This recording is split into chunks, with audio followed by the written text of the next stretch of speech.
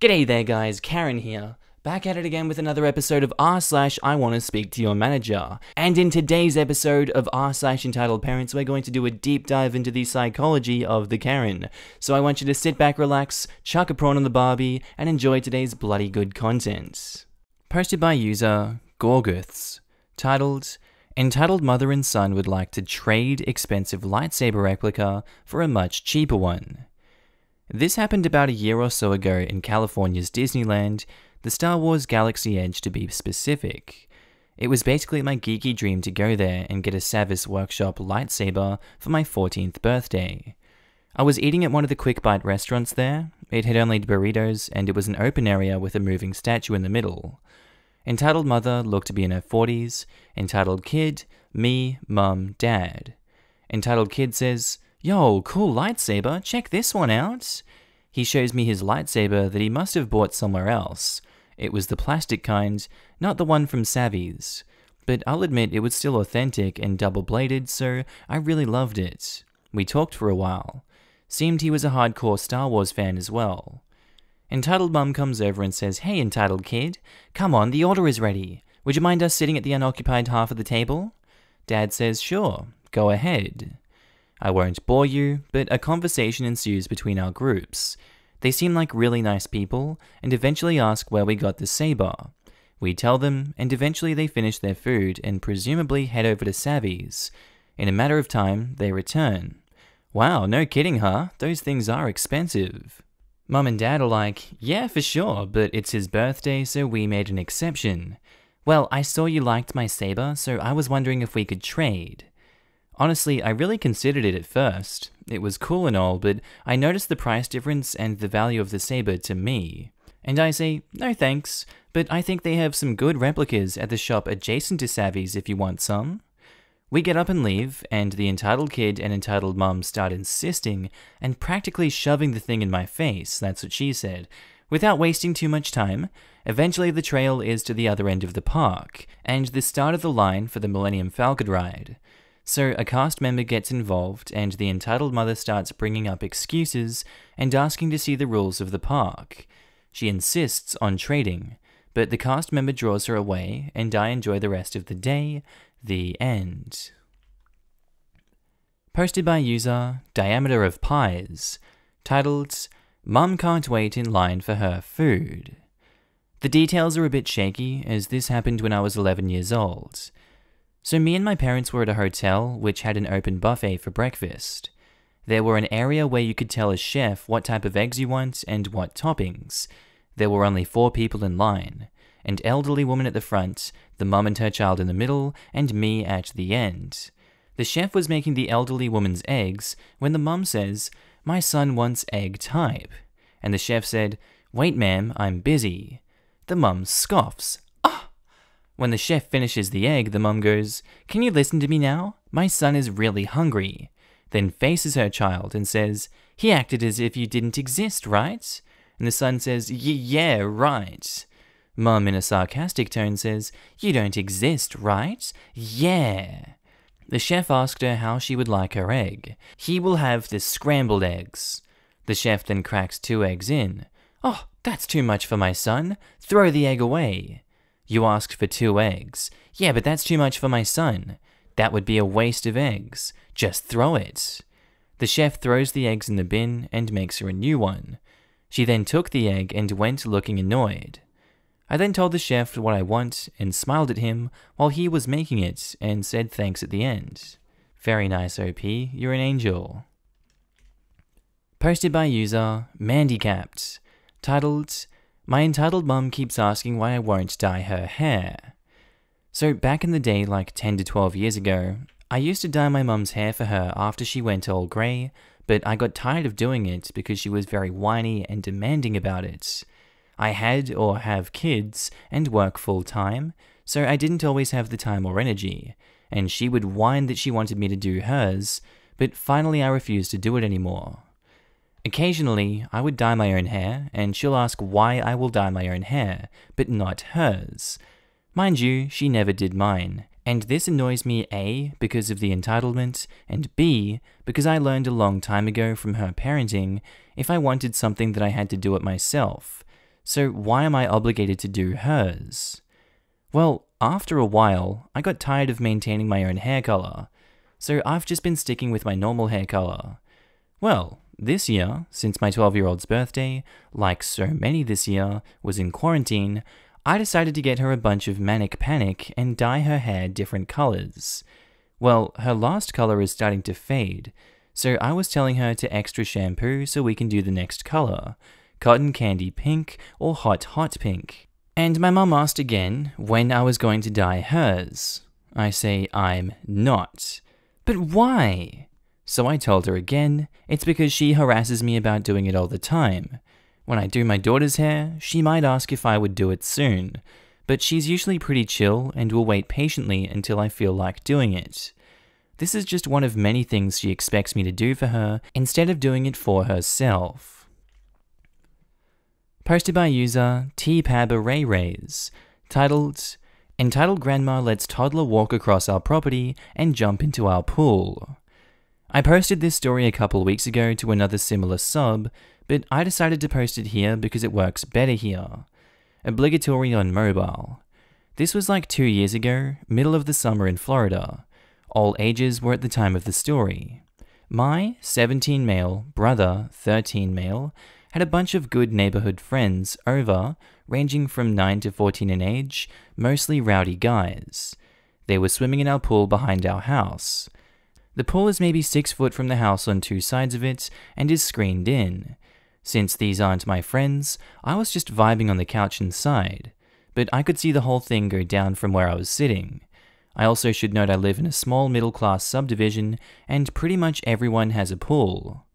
So, a grandma in her 60s, we'll call her EG, from down the street had her grandson, three ish, aka entitled kid, out on a walk.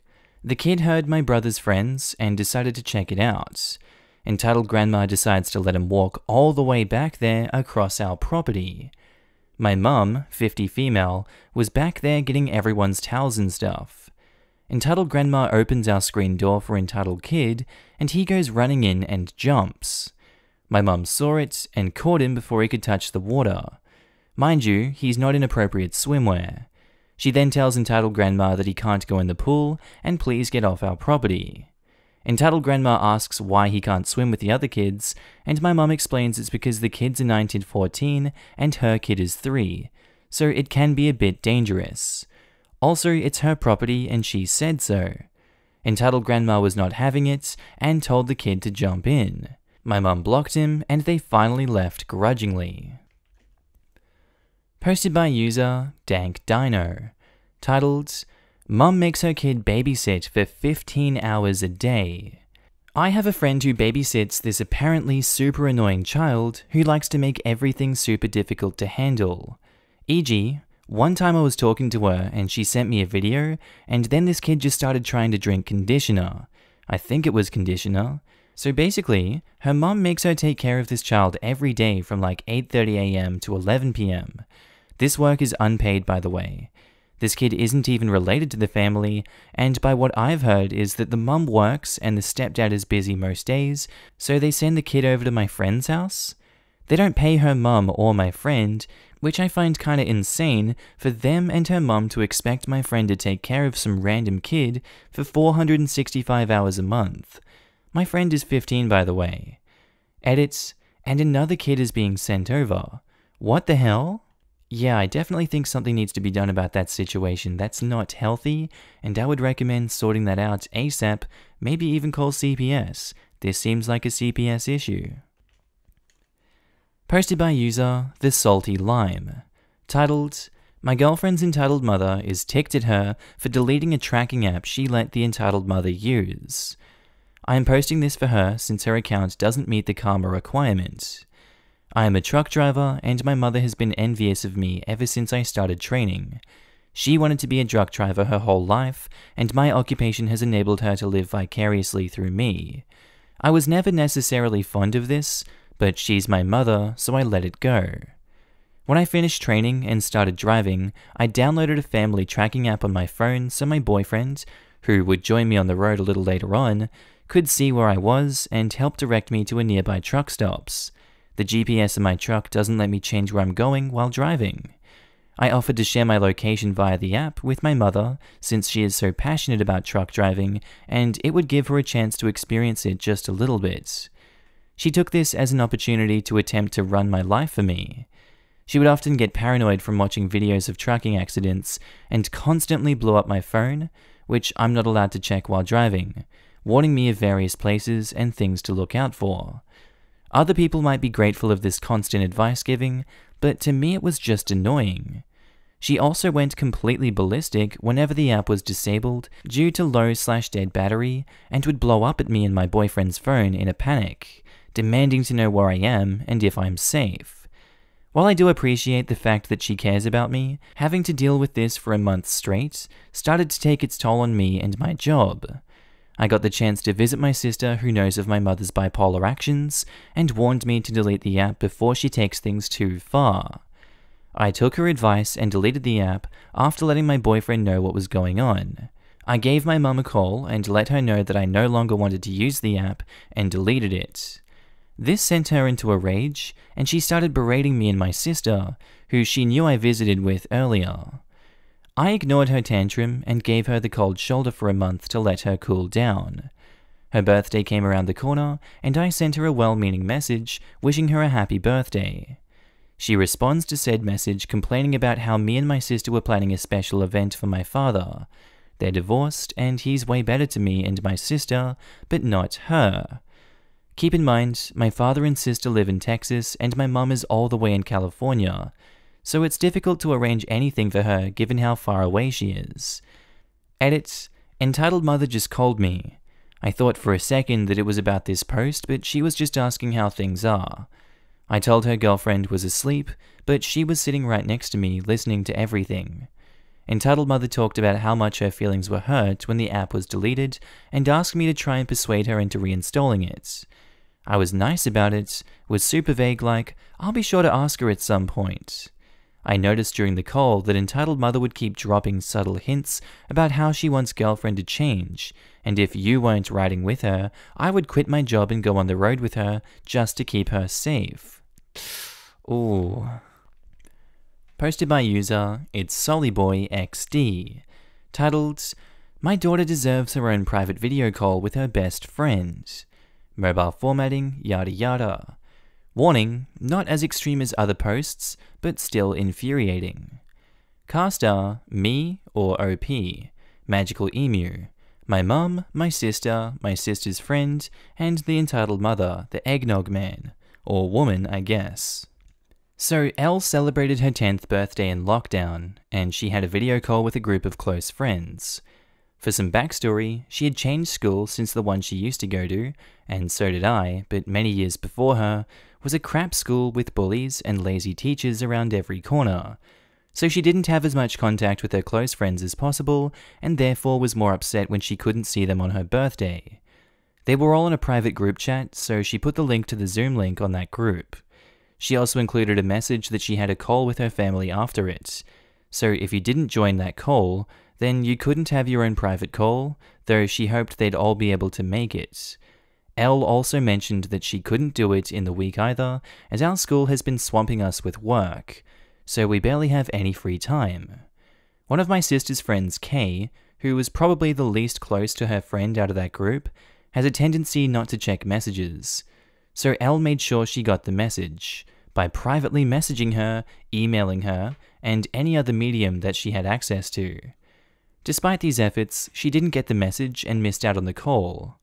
A couple of days later, we get a call from Entitled Mother, which I pick up as my mum is out, that goes as such. Hello? Hi, OP, it's Entitled Mother. Can I speak to M?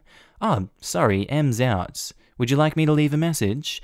Could you tell her that I was wondering when Kay's private call with L is, as she's been waiting for a while now and has been very patient? Oh, I'm sorry, but my sister cannot have a call with Kay as she and I are both swamped with work at the moment, and we don't get that much free time. I doubt that Elle has said that. You were just speaking for her. I'll get her on now if you want. She's on a short break. Fine.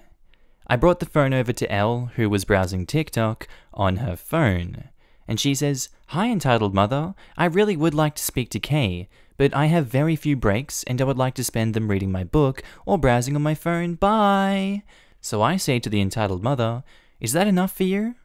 Ah, she doesn't know what she's saying. L and K are BFFs. I say, whilst they're close, L has told me multiple times that blank is her best friend. How dare you? My little girl is crying because of what you just said. She handed the phone over to SEK, and SEK muttered, What, what am I doing? And entitled mother in a shouty whisper says, Cry! Oh, um, insert bad fake crying here. At this point, I could barely contain myself and had to hold my breath to stop myself from laughing. I couldn't. And entitled mother says, What's so funny, you brat? So I'm just like, Bye, entitled mother. I swear she had started saying, That's right, walk away, bear, before I hung up. My mum later got a message saying that I had yelled obscenities at entitled mother and kid. I told Em about it, and we just laughed it off and didn't stoop to entitled mother's level.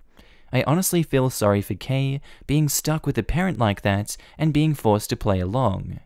L did end up speaking to Kay, but only a couple of weeks later once the half term holidays had begun. Posted by user DRB097, titled My mother kicked me and my fiance out of their house because I brought her McDonald's.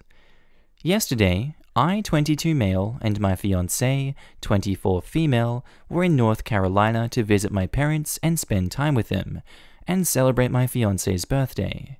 Everything was okay Saturday and Sunday, but crap hit the fan on Monday. My fiancé had to work a 5 to 2 shift on what would be today, and we were trying to see if we should leave at 4 or wait until after dinner. I said to wait until after dinner, but my parents never asked us what we would like or if she would like what they were making. They made sausage and shrimp skewers. My fiance doesn't care much for seafood, and my parents already know that because I told them. My fiance asks me if I could get some food for her and get gas for the car. She said she didn't like what they made and she didn't want to take food from me, given that my parents don't make enough for everyone. So I went and got gas and the food and brought it back. My dad saw the bag and straight up told us to get the frick out of his house and that we are liars.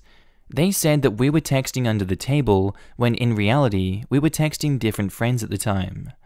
My mum went to see what happened, instantly went to speak to my dad, then confronted us, saying that we're liars and sneaky and don't appreciate what they do for us, and told me the reason why I'm so skinny is because my fiance eats all the food. They've done next to nothing for us. Me and my fiance have been together for nearly two years, and they've never taken interest to get to know her or figure out what types of food she likes, so that way we can all eat the same thing together.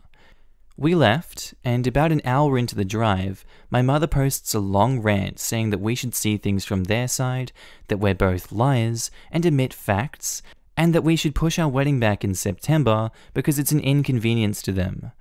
I contemplated revoking their invites, but my fiance said we should go ahead with what the plan is and show them how happy we are at our wedding as the ultimate screw you to them. Though I am still considering paying off my debts to them and then cutting them out of our lives. Edits clarified that my parents accused me of lying a bit and some grammar and spelling. Posted by user ShadowFang84, titled I shouldn't get my badge since I was too young. Backstory Really was an extrovert as a kid, so I took Boy Scouts. This was before Girl Scouts can join Boy Scouts. I was really good at it, so I continued to work hard, and when I was 13, I took a first aid merit badge. So I did my thing and got the pre badge requirements done, so I was pumped to do it. Let's meet our cast for today. Opie is me, EP, the entitled counselor who was biased against me, SM, the scout master, and K is entitled parent's kid. Story. So I got all my prereqs done, and I was super hyped to do the badge along with others. So I showed my understanding of the badge, and even the older scouts there were impressed. So when entitled parent needed help, I gave it to her, not knowing the results. So I was helping a kid out, and entitled parent pulled me aside to only tell me this Look, mate, you need to grow up a bit before you can have the badge. Look at my son. He 100% knows what he's doing and deserves a first class. I was a tenderfoot at the time. So I tried to calmly explain to her that I obviously knew what I was talking about for the badge, and I proved that I have all the prereqs. So this went back and forth like a tug of war, but tug of war quickly escalated into war. An entitled parent said, even if you have the requirements, you are just a stupid kid and don't know anything, or something along the lines of that. And I say, well, clearly you're dumber than me if you need me to explain the material, you dumb a-hole.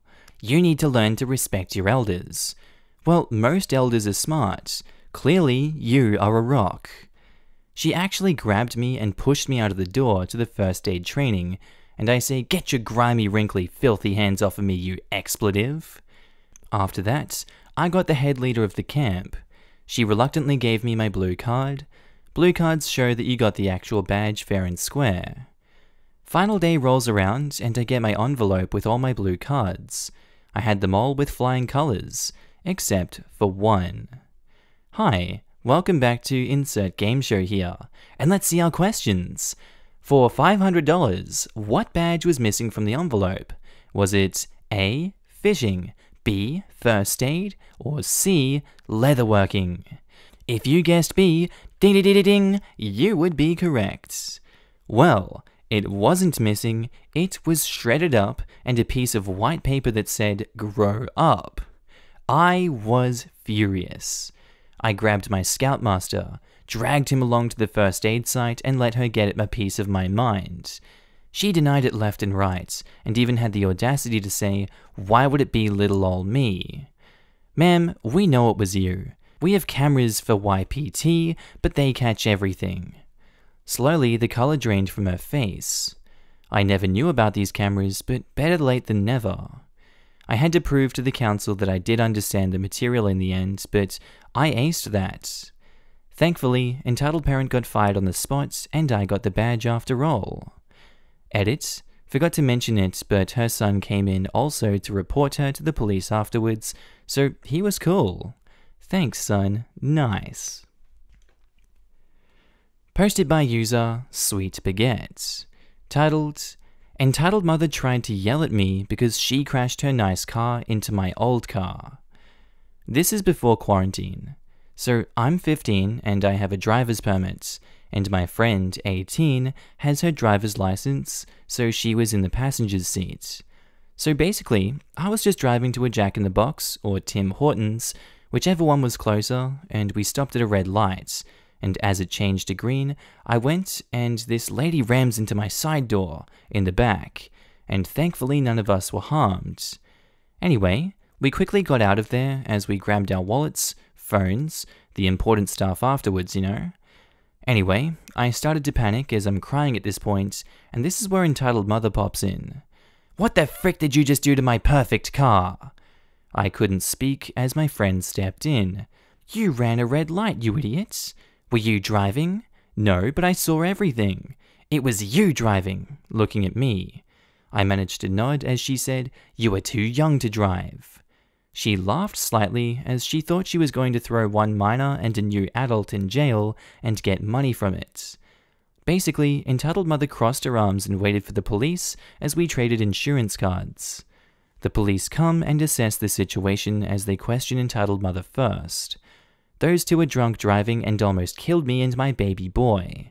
She had what seems to be an eight year old child, which seemed perfectly fine, as the police talked to him, as people checked all of us for any damage.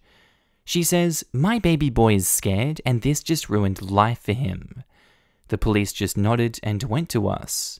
I was still crying. This makes me seem like I'm a baby, but I have autism, which makes me scared of confrontation and yelling, and most definitely anything bad. And so basically, the police questioned us as we explained the situation and showed them our driver's licenses and IDs. The police were extremely nice to me as I had a card explaining my autism, and they just generally helped me calm down. Anyway, the police saw cameras for a store outside, which caught everything as they checked the traffic cameras and the store cameras.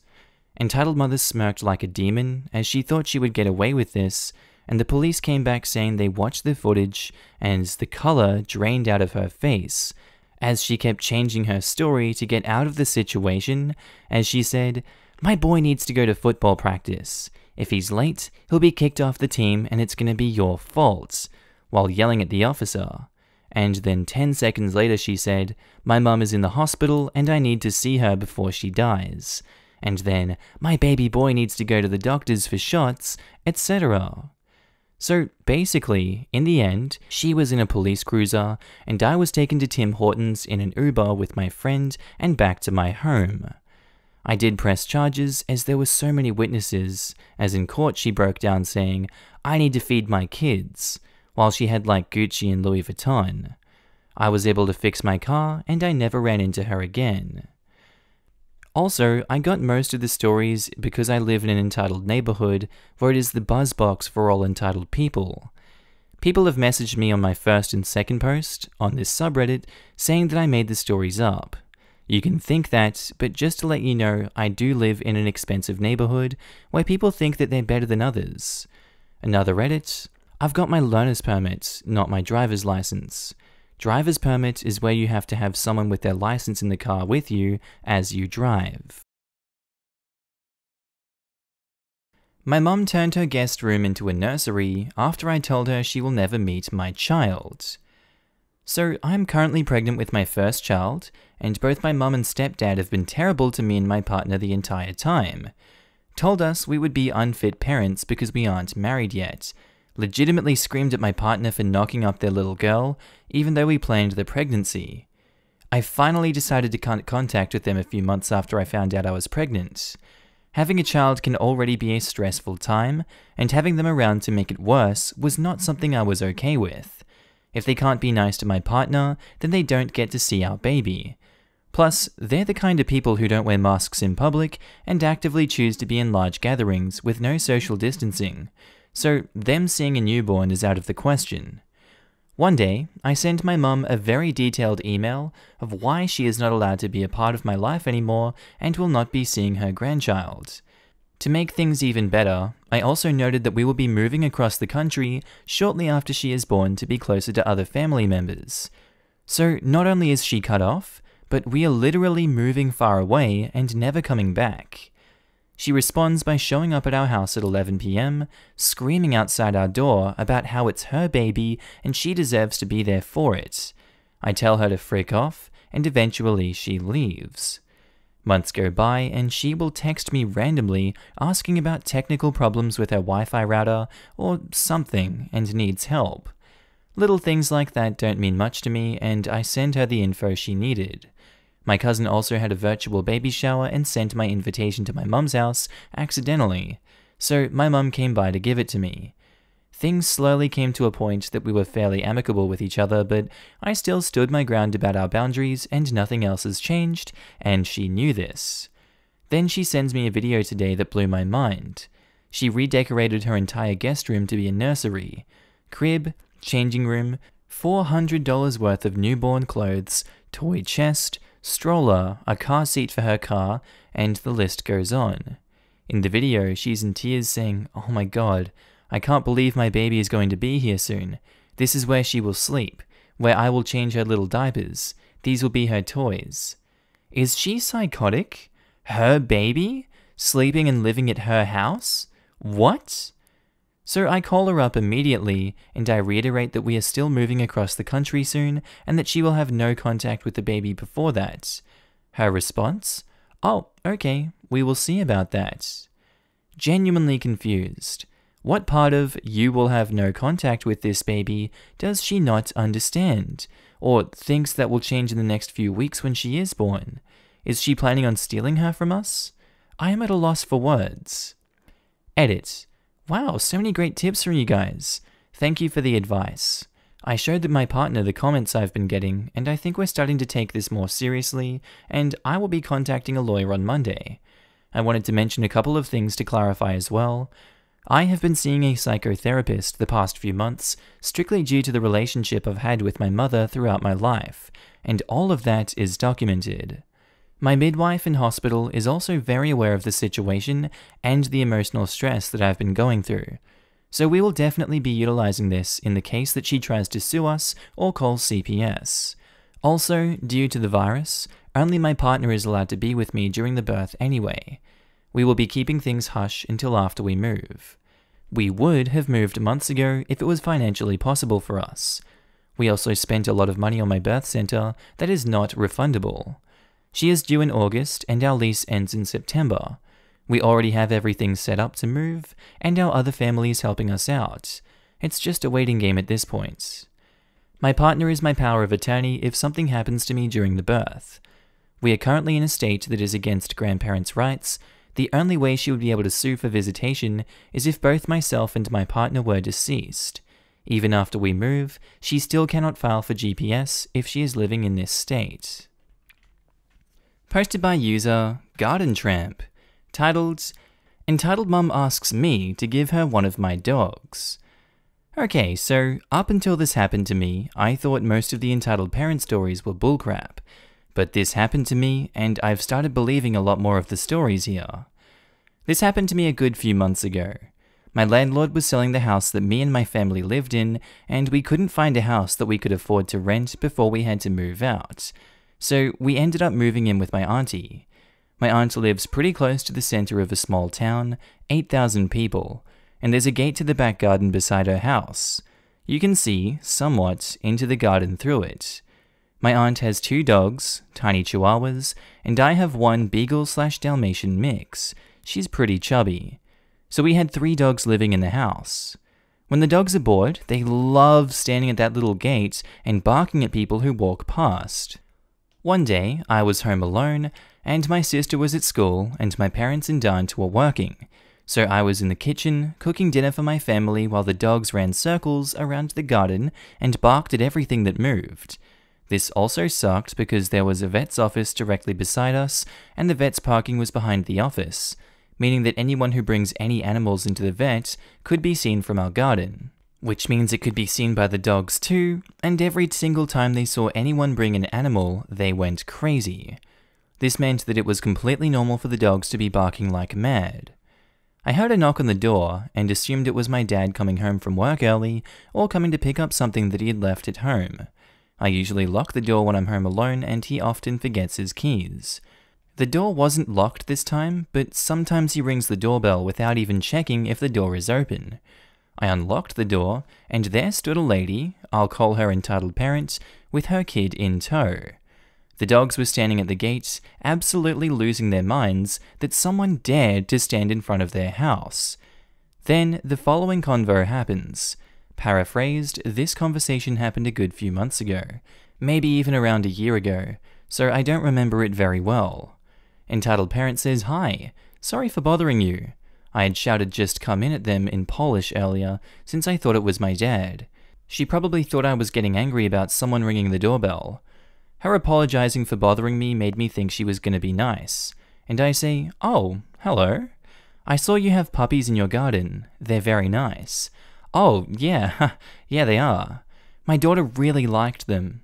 Oh, I'm glad. How many dogs do you have? Um, there's three. Could you give us one? What? I'm sorry, no. It looks like you have a lot more than three dogs in there. You could give us one.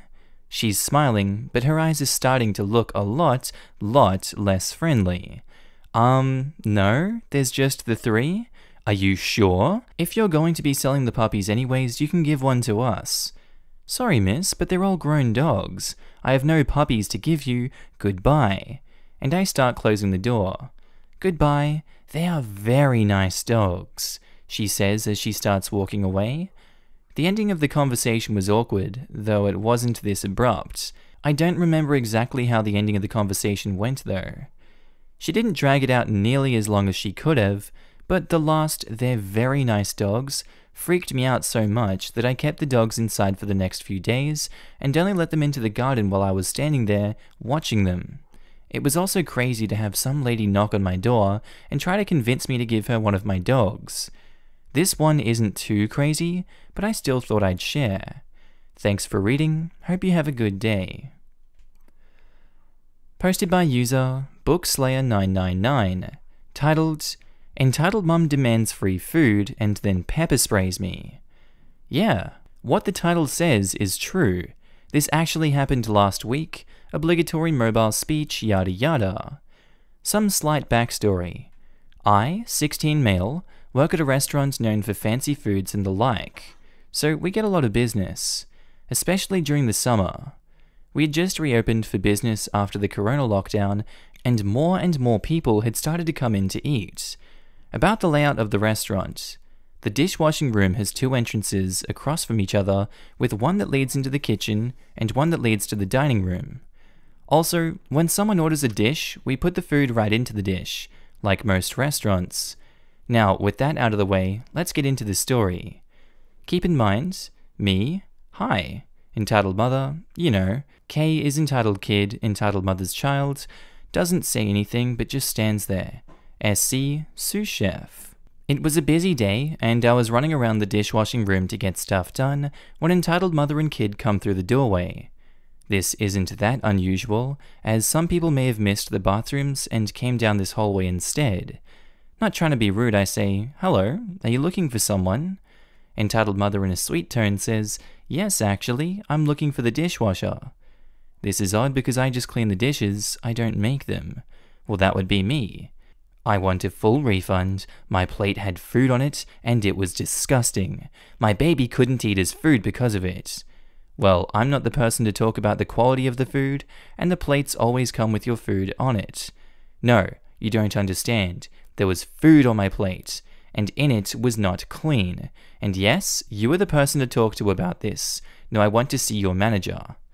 Me, knowing where this is going, say, Well, the chef isn't here today, but sous chef is right there if you need him. But as you can see, I turn around and grab a bunch of knives and turn around. I have a lot of stuff to do, and you aren't supposed to be here, so you. All of a sudden, entitled mother lets out a huge scream as she eyes me with fear. Then, out of her purse, she pulls a bottle of pepper spray and sprays my face. I am carrying things in both my hands, so I cannot block it. It takes a second, but my eyes start to burn and I drop everything and cover my face. All of this is happening while Entitled Mother is screaming her head off, yelling, Help! Help! He's trying to kill me and my boy! Help! Help! By now I am on the ground, curled up. I can't see, and it burns bad, and I'm just screaming, Ah! The other people who work there, including sous chef, rush into the dishwashing room. Everyone is yelling, with entitled mother trying to tell people I was going to attack her. Kay screaming about me on the floor, and me trying to stand up without bumping into anything. It was at this point that entitled mother realized what she was doing and got the freak out of there. I got some help and got to the bathroom to wash my eyes out, and I got the day off with full pay. Nevertheless, entitled mother got banned from our restaurants, and we warned the other restaurants in our area about her so I don't think she'll be going out to eat anytime soon. All's well that ends well, and all that. Thanks for reading. Posted by user Pavgiot123, titled Entitled Parents Lie Because They Don't Want to Watch Their Kids Match. This is not my story, but my cousin's, told to me by my dad. It happened just a couple of days ago. Also, things have opened up completely here, it is relevant for later. English is not my first language. Now, a little bit of background. My cousin bought last year a small shop that was next to some fields, where teams go to practice. There are also pools there that are for the teams, but also open to the public. Everything but the shop is public property. He manages it with my dad, who has some experience with this sort of stuff. The shop sells coffee, soft drinks, snacks, and some food that you find in cafes. Generally, a pretty nice place. Now, since things have opened up, the teams are holding matches there.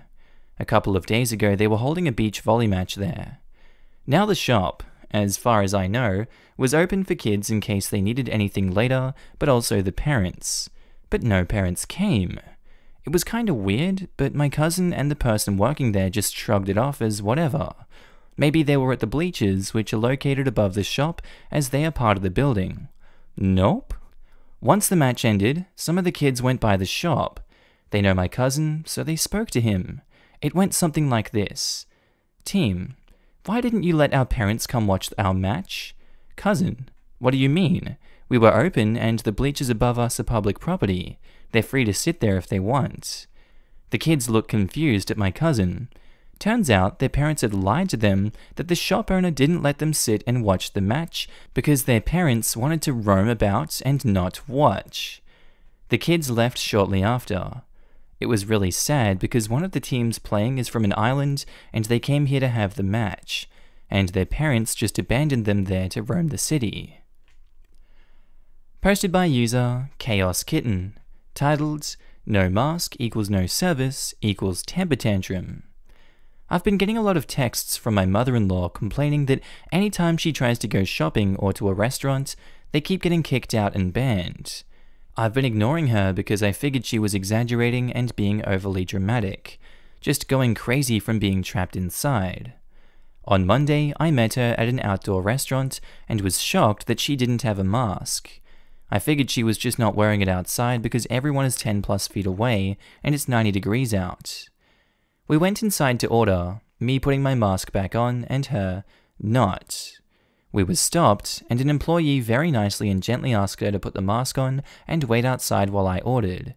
She scoffed at the sheeple and produced a rather ratty card that granted her some magical exception to wearing a face mask. She loudly declared that her First Amendment rights were being violated and that they have no legal right to make her wear a mask, which is true, but they can deny her service.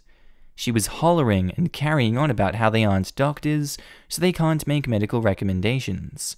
Also true, but the mask rule is set down by the CDC and pretty much every doctor ever. I just walked out after 10 minutes and went home. She texted me to apologize for their ignorance and wants to make plans to try again. I have no plans on seeing her again for a long while, or possibly ever. I'm still getting texts from her though about how she can't shop for food and how nothing is fair. I've suggested Instacart and online, but she wants to go to the store. I really want to point out that she's being a selfish idiot, not a good Christian, and generally a huge pain, and is going to end up getting banned from every restaurant and store in this small town. Posted by user The Stash Attacked, titled The Time an entitled mother tried to drown me in sauce, fairly literally. Edit, this was almost a decade ago, I'm long gone. So, r slash ask Reddit has a thread about the tackiest thing you ever saw at a wedding, and I was reminded of this fun incident from the three months I worked catering. Worst of all my food service jobs, by the way. Our cast are me, uh, obviously, entitled mother, entitled dad, entitled brat, boss, my a-hole boss, the bride, and the groom. So, campus catering rarely did weddings, and honestly, the food we made was so bad and so poorly handled, I'd think you'd want to avoid it. But the father of the groom was a big name on campus, so it was held on campus and we had to cater it. I'm managing the entrees, serving up terrible chicken in a thick, congealed sauce and vegetarian pasta that's basically just half-assed pasta primavera with a cheap, nasty oil on it. Seriously, I love me some Primavera, and I wouldn't touch this garbage with a 10 foot pole. We're winding down, the last of the food is out, in a few minutes we will put the main course away and set out the dessert, of course. Suddenly, entitled Brat appears. He's about 10 years old, so he absolutely knows better than to do this. He decides that it's going to be the funniest thing in the entire world to yank the tablecloth away. Seriously, he was giggling the whole time, so I knew something was up. When I caught him with the edge of the tablecloth, I moved fast. I said, Kid, don't even think about it. It's going to end very badly. He giggles more and starts pulling. So I walk over, take the tablecloth out of his hand, and tell him to scram. I go back behind the table, smooth my apron, and continue my awful job. And that's when things went badly. Entitled Mum comes up to me and says, why did you chase my baby? He wasn't doing anything wrong. Ma'am, your child was about to pull the tablecloth down, and it's my job to stop him. If I don't, I could be fired. Yes, this happens to a colleague. We are paying for this wedding. Don't you know who I am? That's when I realized this was the mother of the bride. Ma'am, I understand, but there are lit. And that's when she jumped across the table, grabbed my head, and tried to force my face into a tray of sauce for the chicken, a very hot tray heated by a lit sterno underneath. I, of course, started hitting her and screaming. The father of the groom came running over. Entitled dad comes running over. The bride and groom come running. My boss comes running. Entitled dad suddenly decides to try helping his wife to shove my face into the sauce. I start clawing at him too, while the groom and his dad try to pry these people off me. The bride screams something like, You promised! You promised! I'm not entirely sure here. It was chaos. My boss is standing off to the one side like a potato. All the while, entitled Brad is sitting off to the side, laughing like this is the funniest thing he's ever seen. In the end, the table went over and caught on fire from the sternos. A fire extinguisher was employed, and the wedding was basically ruined. My boss pulled me aside while I prepared to file a police report and said, You can't talk to the police. Actually, I can. If you talk to the police, I'll fire you. That's illegal. You can't do that. Your choice. I filed the police report and told them what my boss said. He didn't fire me. Entitled mother and entitled dad pled guilty to misdemeanor assaults.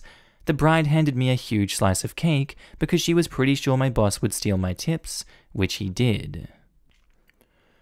Posted by user Poplio Loves Gaming, titled, I'm your mother, so you should give me half of your work money. Hey guys, so I thought about this from a few days ago and decided to post it here.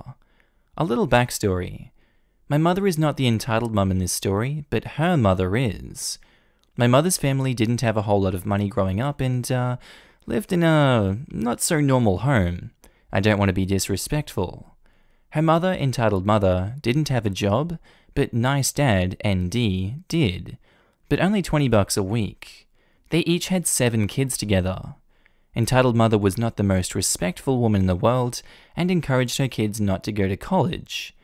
Out of the seven kids, my mum was the only one to go to college and graduate. I love you, mum, if you are reading this. Now on to the story. While my mum was in college, she knew she needed money, so she started a lawn mowing business $10 for one mowed lawn. The chaos began whenever her mother found out what business she was doing. One day, my mother opened up the door to find her mother standing there. The following conversation went like this Hey, Em, how was school today? Oh, you know, it was mediocre. So, I heard you started a lawn mowing business? Mum, having an oh crap, she found out moment. Um, yeah, what about it? Well, since I'm your mother and gave birth to you, don't you think I should have half of it? Are you are you serious right now? Yeah, I'm serious. Give half of it to me now. My mom just generally peed off right now says, "Fine." My mother then gave her $5 before she walked away. This continued on for a couple of years before she got a then boyfriend, now divorced husband, and decided to move out of that hellhole. You know what I mean. ND understood, while entitled mother realized that meant no more pay for her and tried to stop her. Mum yelled at her and told her to stay the hell away from her. She then moved out to stay with her now divorced husband and had two children together. They then decided that it was not working and decided to get divorced. She then met a new person, who was my amazing father, and married him after a year and a half of dating. Her and my father then had me and my amazing little brother. She is way nicer than entitled mother. If you want to hear more stories, yes, this isn't the only one, then I would happily go on about my mother's entitled mother. Hope you all had a great day and stay safe. Posted by user Scout and Mo Boy, titled Entitled Mother Demands to Take Her Daughter Off the Ward. I don't know how titles work. A little context. For the past year, I've been working on a children slash adolescent psych ward as a BHA. I usually do rounds, one and one, etc. It's about mid March, right before COVID, and I've got a full unit of girls and half of boys.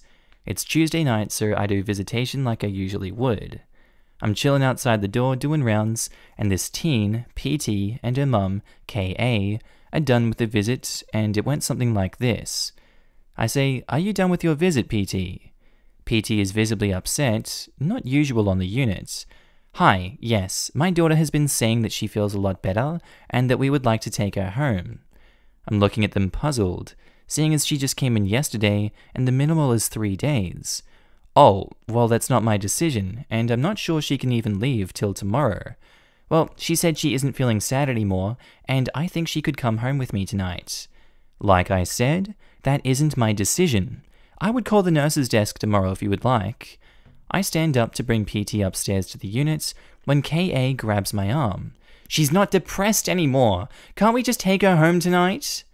I removed her hand from my arm, ready to be the activity I am as someone with depression.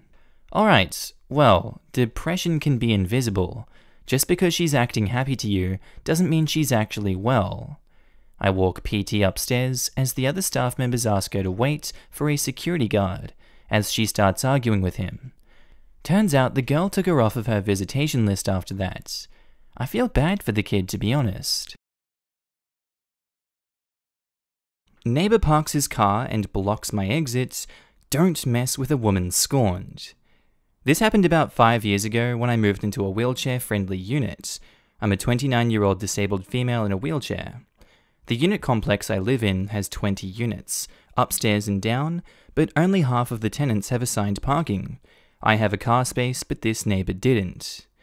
It took a while for the tenants to get used to this. It was a brand new complex, and the tenants all moved in at the same time. But one of them, let's call him Dick, either didn't get it or didn't care. He would constantly park in my space, and every time I confronted him about it, he claimed not to know, but he'd park there anyway. I informed the landlords about this, and they sent out constant letters until he finally got the message. But did he park on the street? Nope. He started to park his car along the driveway, sometimes blocking my exit. To get out of my door, I go down a ramp and then turn onto the driveway, but he would park his car and block my exit. There was no back exit, so this was my only way to exit my place. I told the landlords about this and the council parking officer in hopes that they could make him stop doing this.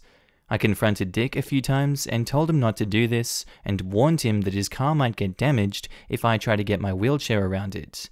But did he listen? Nope.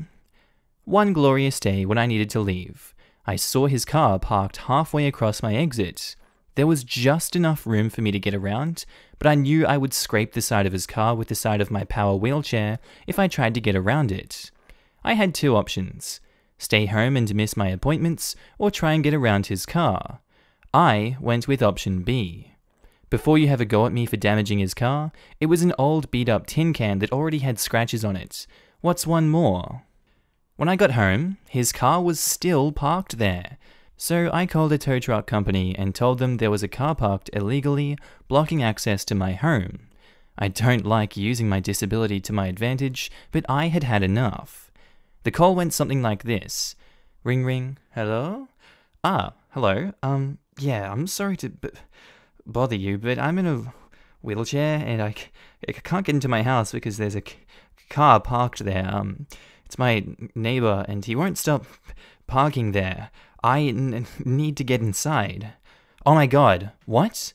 What's the address? We'll be right there. Ten minutes later, the tow truck arrived. He saw the car and me stuck out in the driveway with tears, dramatized for effect, in my eyes. Not long before the driver was about to tow the car away, Dick came out screaming, Wait! What are you doing? That's my car! The rest was Dick yelling inaudible sentences, asking why his car was being towed, and threatening to sue the tow truck company. Based on the crap fest of a tin can he calls a car, he didn't have a leg to stand on. He moved away about two years ago, but in the remaining time he lived there, he parked his car on the street. Good boy, Dick. Glad you learned your lesson. Posted by user Zaru77, titled Lady on the bus wants me to get up from my seat when there are tons of seats available, ends up having to walk the rest of the way. This is a very old story, back from over a year ago, but I was scrolling through the subreddit and it popped into my mind.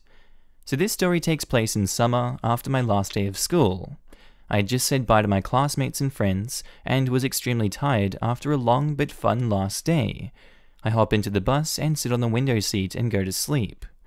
A little while later, in comes entitled lady. Let's call her Betty because we're all tired of Karen. Oh, Black Betty, bam balam. Betty doesn't look a day over 45, in perfect health. Yet, to my surprise, she asks me to get up from my seat. I say, I'm very sorry, lady, but I'm not giving up my seat. Half the seats are available and you don't necessarily have to sit here. I am your elder, you must get up from this seat. Look, mate, you can literally sit anywhere else. It doesn't matter if you're my elder, you are literally a random stranger on the bus. Please sit elsewhere. At this point, the driver heard Betty yelling, and at this point, this bus was routine for me. So the driver knew me, not personally, but he knew I wouldn't ever cause trouble, and that I'm just a teenager who wants to get home. So he comes over and talks to Betty and says, Excuse me, what's going on? This little brat is being disrespectful. I wasn't disrespectful. I was just sleeping in peace, and this random lady started telling me to give her this specific seat. He's right, lady. You can sit elsewhere. OP was just sleeping peacefully. No, I want this seat. I take this bus every day, and this seat is always empty. Just because this seat is usually available doesn't mean I. Does it look like I care? I'm a customer and I need this seat. You know what? If you want this seat so badly, get off the bus and wait for the next passage. You can't do that. Oh, yes, I can. You have the choice. Get off the bus and wait for the next one, or walk. She ended up getting off, and according to the driver, whom I saw the next day while going to a friend's house, he saw her walking the rest of the route and showed him the finger. He got a good laugh that day. I like that. Posted by user Bus Driver Jim, titled You're Scottish, so you must speak dot dot dot. Near the small depot where I work is a town that, during the summer, is used as a port from large cruise liners. This can be fun for a few reasons, such as when you pull up to the stop and see enough people standing to fill you to capacity three to four times over. The majority of the passengers are Americans, and most of the time they are pleasant, although you do get the odd arrogant ones. Last year I had a family who were decked out in MAGA hats and t-shirts who required the police. But I'll tell that another time. Today's tale is about the family that came on the bus decked out like extras from the movie Braveheart, one of the most inaccurate movies ever made. Seriously, they came on in kilts, and the dad looked at me and smugly asked to travel to nearby city in Gaelic. I'm me, dad will be EP, embarrassed family will be EF, although they didn't do anything. I say, sorry, what? And he repeats Gaelic. I'm not understanding you. Where are you going? I wish to go to city name. Do you not speak the mother tongue? With a look of disgust on his face. My mum's from Drumchapel, area of Glasgow, mate. She speaks Scottish, which is Scottish English. But you're Scottish. Do you speak Gaelic? Not a word. But your heritage is Gaelic before it was beaten out of you by the scum from England. He actually said that. My wife's English, mate. And just so you know, your gibberish was only spoken in the Highlands and Islands. It wasn't spoken elsewhere in Scotland. That'll be £21, please. I'm not paying that. You were rude, so we're getting on for free. By this time, the entitled parent's family were embarrassed and started asking him to shut up and pay the fare. Either pay the fare or get off. There's a queue forming. If you don't, then I'll phone the police. But then you'll be late. I'm paid by the hour, so the longer I take, the more I get paid. And he hands me $21. Sorry, don't accept funny money. Only pounds sterling, I say with a smile on my face. At this point, the wife grabs entitled parents and drags him away, yelling at him. Next American passenger comes on and immediately apologized for his actions. I've had quite a few stories dealing with tourists that I'll put up if people are interested. Stay safe, everyone, and enjoy your weekend. Posted by user Captain Bunny 1996, titled my uncle threatens my life for being gay. Trigger warning. Hi everyone. This story is short, but it's a good one. I'm on mobile, so sorry for any format errors. My first language is English, but honestly, I'm just stupid. Blech. Cast star, me slash OP as me. Uncle as my homophobic Uncle Danny, my dad's gay friend Sammy, my dad's girlfriend.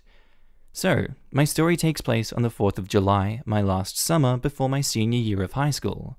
It was my first summer visiting my dad in North Dakota. My dad's friend was hosting a 4th of July party, and we were all invited, including one of my dad's friends, who was very much gay. I was very much out as pan at this point, but I didn't shove it down people's throats, just a rainbow bracelet I never took off. I still have it, and that was six years ago. My dad has also invited my uncle, who was in town anyway, for a visit, so it worked out. My uncle had no idea I was gay. I knew he wasn't comfortable with it, so I never told him.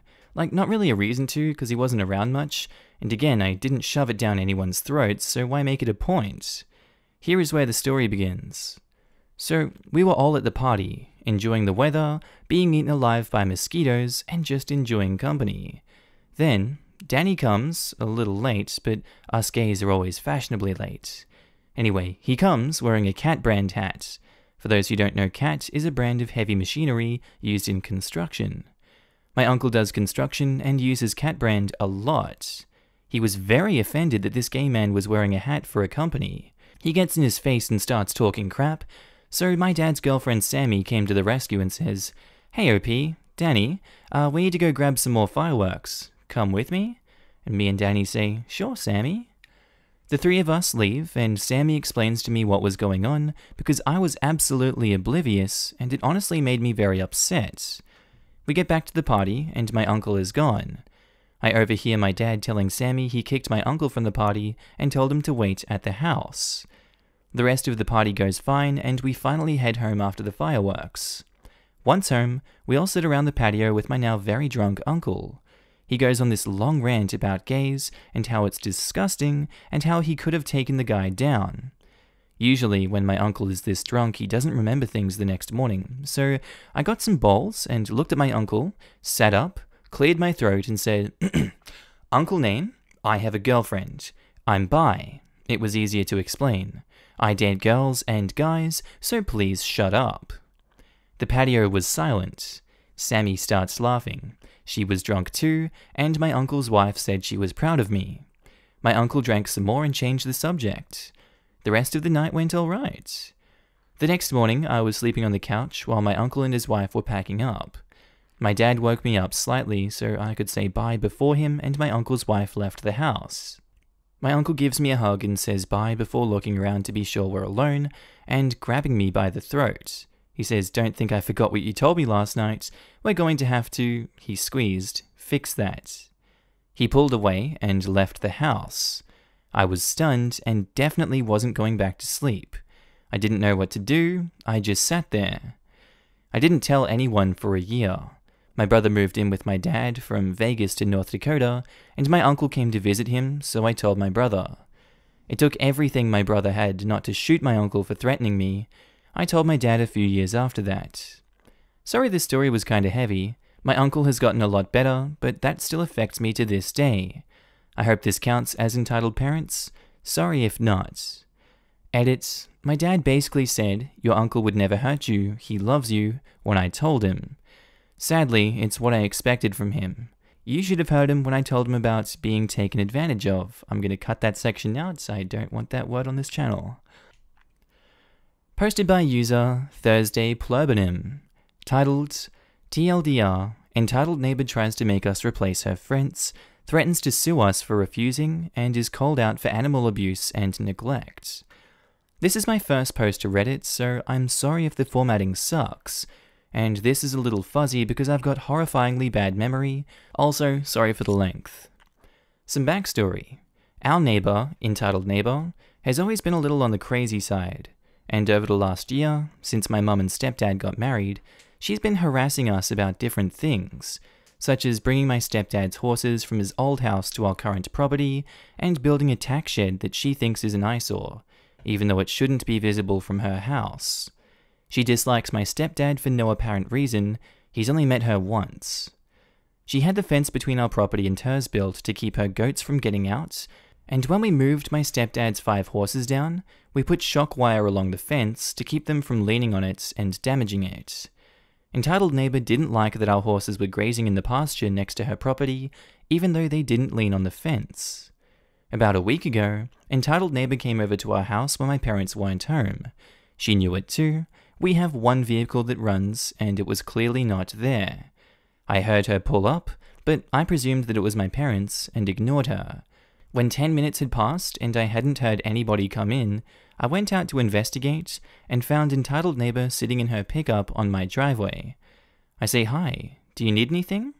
And she marches over to me red faced and says, You need to tell your new dad that his horses are destroying my fence. He has to replace it. My stepdad? Whatever. If he doesn't replace my fence or pay for the damage that his horses did to it, I'm going to sue him. Some other things were said, but I'm not going to repeat them here because there were various threats against my stepdad and mum. Entitled neighbor marches back to her pickup and leaves, and I went back into my house confused. One, she called my stepdad my new dad when she knew very well that my dad was alive. And two, I knew that the horses weren't leaning on her fence because there's shock wire on it, so they definitely knew better than to lean on it. I texted my mum about it and didn't think a whole lot about what had happened.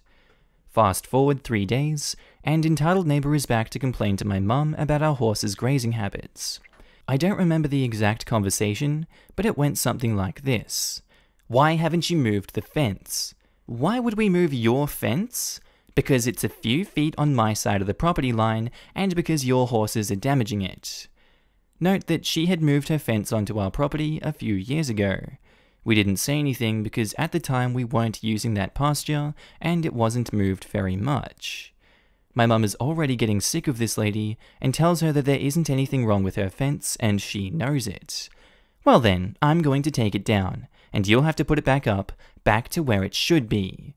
If you take that fence down, then our horses can get out and get seriously injured. I can take my fence down whenever I want to. At this point, my mum had enough. She blew up on entitled neighbor. Fine, take down your goddamn fence, but if my horses get out onto the road and injured or killed, I will sue you. Hell, I should sue you for moving your fence onto our property without permission. I should take you to court for animal abuse and neglect, and I should file harassment charges against you for harassing my children. Get off my property now. Entitled Neighbor's face turned a shade of red that I didn't think existed outside of crayons and started to sputter a retort before my mum interrupted her again. I said, Get off my goddamn property. You're trespassing, and if you don't leave now, I will call the police. Entitled Neighbor sputters more, looking surprisingly fish like before tripping back to her truck and leaving. She hasn't been back to our house since, and her fence hasn't been touched. I have no idea if my mum is going to take her to court or not. We don't have the money to pay any legal fees. Edit, yes, she will be reported on the animal neglect and abuse, regardless of the fence situation. I don't know if it's happened yet because I'm not with my mum this week. Posted by user Darosk, titled Owner of local corporation assaults my father when confronted about illegal developments in our neighborhood. Hello Reddit. I don't normally have stories to post here, but I got one from today, and I am ready to fight some folks. I am not on mobile, and English is my first language, so I have no excuse if I screw up the formatting. I live in a small neighborhood in the middle of a small city. I'm a 20 year old college student staying in South Carolina with my family thanks to the pandemic. Across from our house was an undeveloped lot. It was completely empty and had lots of grass with very large, very pretty trees. My grandmother walks her dog in this space. When my family bought the house, we were told that the lot had minor historical significance, unclear on details, and that it was illegal to develop this lot. This was one of the reasons we purchased this house. Last Saturday, a large group of men arrived at the lot fully equipped to log the entire place. We were quite upset, but were not hasty considering we did not know the full situation. It was possible that someone had bought the lot and that we had been misinformed about the area. My dad is a biology professor and sometimes takes his students on field trips out there to do different activities. He has been extremely upstressed and upset about this whole ordeal. My dad tried to call the police at one point and they refused to come, saying they couldn't do anything about it. Now, the city council does not operate on Saturday where I live, so we could not complain to them immediately, which is why we phoned the police. After inquiring about it later in the week, we confirmed that it was in fact illegal for them to be developing this area. The city placed a stop work order, and we thought the situation was resolved. Today, these guys returned, once again on a Saturday, convenient, to keep removing the trees despite the stop work order. My dad goes out and finds these signs are on the ground.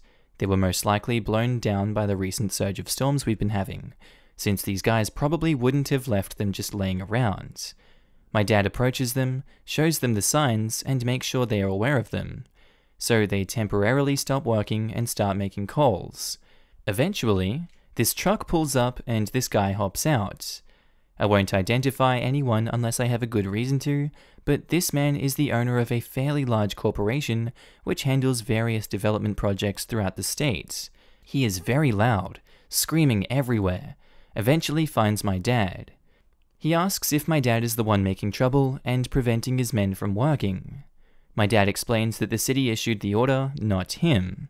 Of course, this guy goes on a cursing rampage, and my dad just kind of ignores it and crosses the street. The police claimed to not be able to do anything when he called them last time, but my dad decides to try again. My dad gets on the phone with the police department. While my dad is explaining the situation, he is holding one of the signs. This dude comes over and asks if he can see it. My dad refuses and said he already handed the other one to his workers. This guy proceeds to backhand my dad in the neck and try to grab the sign while he's on the phone with the police. So obviously my dad is screaming that he is being assaulted, and patrol cars start showing up very shortly. However, despite many eyewitness accounts from neighbors and his own workers, and of course the evidence in the call, the police still refuse to pursue this guy. At this point, my mum is understandably furious. She is very active in many communities throughout the area and has gained many contacts. She proceeds to call the mayor and explain what is happening. Within 30 minutes, there are multiple members of the city council on the scene. At the end of the day, the remaining trees were marked to indicate they cannot be removed and the area cannot be developed. The remaining three trees. The place looks like a fudging war zone. I feel extremely powerless, and my dad has a massive bruise on his neck. I want to go to war, but my better judgment is holding me back. I feel like bringing attention to this on social media would be a useless venture, and I don't want my family to be any more of a target. I am really hoping that this is over. Posted by user Biriniri, titled, How dare you speak to the bride's children like that? This isn't my story, but I had the pleasure of witnessing the whole situation. I used to be an au pair in Israel. I was with a lovely religious woman and her four kids, and just before I left, she married a wonderful man. Her parents are siblings and are all rather religious and dressed modestly, except for her youngest sister. Let's call her Miriam, who has color dyed hair, is covered in tattoos and piercings, and dresses however she likes. Furthermore, her two brothers and Miriam have a different, much shorter father, so the boys and eldest girls are all approaching or exceeding six foot and Miriam is no taller than 5 foot 3. Her whole family came over from America for the wedding, which took place outside on a hill and had a carpet aisle leading up to the chuppah, the canopy under which the couple gets married, which was secured down with little stakes in the ground with hearts on them. Shortly before the ceremony, the youngest two kids thought that it would be fun to collect the stakes to hold, taking them out of the ground and risking the aisle flying away. Seeing this, Miriam immediately approached them and said, Guys, put them back right now. At which they looked sad and went about returning them. A guest, an Orthodox Karen, became enraged. How dare you talk to those children like that? Who do you think you are? I'm their aunt. They were. She looked bewildered. The Karen, if possible, got even more furious and cut her off. That's ridiculous. Those are the bride's children? I know. She was starting to look annoyed and she says, She's my sister. I've met Deborah, and you're not her. I can't believe you have the audacity to try and claim, Look, you're talking about our other sister. This is my niece and my nephew, and it's my dad who's about to walk Leia down the aisle. Who exactly are you? The woman started spluttering indignantly, just as Miriam got called over for family photos, and with a last smug look, she turned on her heel and left Karen gaping. Posted by user Bamboo Grapefruit, titled, There is always someone too good for a face mask. So a friend went to a certain large hardware store that requires masks. They complied and wore a mask to get inside past the door. Once in the store, they pulled down the mask and began shopping. An employee noticed and told them to leave immediately for breaking the rules. They ran around the store, trying to hide from the employees, but eventually decided to leave. This person is now very upset that they have been singled out and attacked and chased. They wore the mask to get in? Isn't that enough? They claim it's not as easy to breathe in the mask and they're uncomfortable, so they shouldn't have to wear one. They are not like other people. This is too much for their respiratory system. Anybody else dealing with these people thinking they shouldn't have to wear a mask? I mean, I'm inside all the time, so I just don't see it. Posted by user The Send Reddit, titled A lady thinks I have to be an adult to watch my brother and sister in the car. I'm 14. About three weeks ago, my mum was going to the store. Since my mum did not have enough masks, we had to stay in the car. My brother and sister were being loud and arguing, and two minutes later, the following happens. Karen comes up and says, Where's your mum?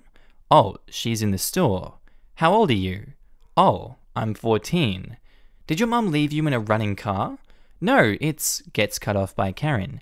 You're not old enough to be watching your siblings in a running car. I say the car's not running, it's just the radio. That's it, I'm calling the police. She called the police, and then my mum came out of the store. My mum argued with the Karen, and Karen decided to park behind us so we couldn't leave. Luckily, we were able to leave because there was an open parking space in front of us. Posted by user lolsbot original, titled Karen wants free food. So basically, my mum owns a restaurant in hospital, and Karen used to eat there every day, and after she would finish eating, she would leave a small amount of food on the plate, like two spoons, and then would say, This is not cooked well, and would storm off every day after we refused to give her any free food every freaking day.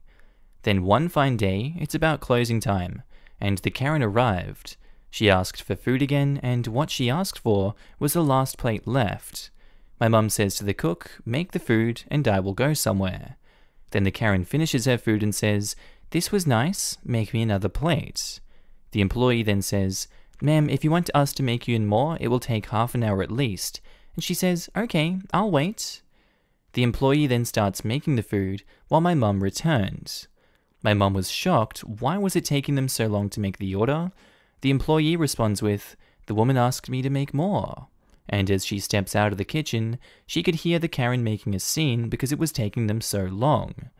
As she saw my mum, she rushed over to her and said, Why is it taking so long?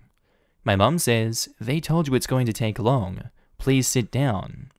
The Karen started mumbling about why is it taking so long. The food is finally done, and she ate it again and left a few spoons and went ahead and said to my mother, It was raw! And how she should get it for free. Mum snapped and tells her, It's not raw, you just want free food. And told the employees never to serve her again as she got louder, all the others there could hear the Karen was embarrassed, and the Karen didn't come again for two days, but lo and behold, she was there the third day. My mum goes and asks the employee what's going on, and the employee responds with, She's been sitting here for over an hour demanding food. When the employees refused her, she just sat there when she left and never came back. Karen outs herself as office food thief. So, I work IT at a small non-profit. We have a kitchen and staff room and supply free coffee, tea, milk, sugar, etc. During the pandemic, all staff were working from home, but for the past few weeks, some staff have been coming back gradually, mostly just for one to two days a week, including myself and unfortunately Karen. Now, Karen and I have had many run ins over the years, and suffice to say, we don't get along. I don't tolerate her BS. A week or so after being back, Karen sends a condescending email to the office manager, OM, CCing all staff. In it, she says that while she accepts that the office kitchen had not been stocked while everyone was on lockdown, she's appalled that there is no bread, bagels, yogurts, etc. for staff that have returned. Office manager replies, adding CCing all staff, Karen, as a courtesy to staff, we provide free coffee, tea, milk, and sugar, all of which have been stocked. We have never proved free bread, bagels, yogurts, or other food. However, staff do keep personal food items in the refrigerator. Take that, Karen. God damn. Posted by user Icefire Wolf Lord. Titled, Entitled Brother is Angry He's Getting a New Phone. So, my dad is buying my brother and I new phones. I'm getting an iPhone SE, and Entitled Brother is getting a Motorola G8. Entitled Brother is upset that he isn't also getting a new iPhone. I'm 15, and Entitled Brother is 12 for reference. Entitled Brother has a long track record of losing his phones. Actually, as I'm typing this, his current phone, Motorola G6, is lost. He doesn't know how to take care of a phone just yet. His is cracked, the case is gone, and now the phone is too. I, on the other hand, have severe anxiety, and my phone is a comfort tool. It's always in my pocket. I've never lost it once since getting the iPhone 6, and it only has one minor scratch on the screen protector. I completely understand why my father doesn't want to get him a super expensive phone, but entitled brother doesn't. When dad said we were getting new phones, he was incredibly excited.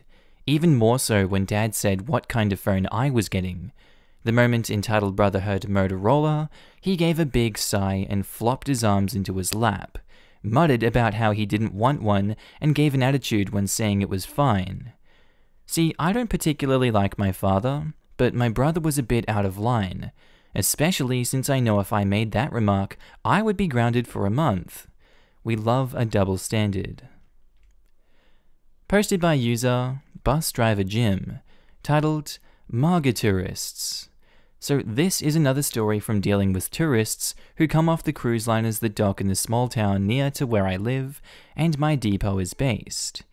Normally, there are specific coaches laid on for the boat passengers, but some travel on the service buses that I drive. This story takes place on a Sunday, as a large boat had come in, 3500 berth, and with it being a Sunday, it was a Sunday bus service. This meant there was a total of eight buses for the day, and for some reason, there were no coaches laid on for the boats. This meant that the boat passengers either stayed on board, wandered around a small highland town where the only things open were a petrol station and a supermarket, or got the service bus to the nearby city. So, I'm taking a standard Volvo single decker bus, maximum seating 45, standing 25, and am met by a swarm of passengers who want my bus, seeing as it's the express service. Needless to say, I'm hammered and the bus is full. The last four passengers I get were your stereotypical American tourists. I mean load, brash, and wear MAGA t-shirts and hats. Entitled Dad will be the dad, Entitled Mother will be the mum, EKs will be the kids, and me will be me. The Entitled Dad just says, one family ticket. No please, no telling me a destination, I say 21 pounds, please, being polite because it was my last shift before I was on holiday for a week. And he pulls out a bank card. I say, sorry, I don't take cards. It's cash only on this service, which was true. Other than London and a couple of other places, you couldn't pay by contactless or card at the time. And they say, What? That's outrageous. Why not? Because our ticket machines aren't card readers. They can't be used to pay your fare. Well, I don't see why you can't just let us on because you haven't paid your fare and everyone else on board has, so why shouldn't you? He's now getting visibly angry and says, Fine! and slams down a 50 pound note. Sorry, but I'm not allowed to accept any notes larger than a 20. Are you for real? Are you fudging stupid? Don't swear at me, or you won't be getting on. Now either pay the fare or get off the bus, because I'm running 15 minutes late now. At this point, Entitled Mother appears and pays the fare while giving me an evil glare. So I set off. The trip into the city was uneventful apart from a nice American who was beside my cab, taking scenic pictures and asking me some questions. We get to the bus station, and as I pull into the bay, the local inspector gets on before anyone gets off, and loudly states that any passengers off the boat need to make sure they get to the bus that leaves the station at 3 pm to get back for the boat.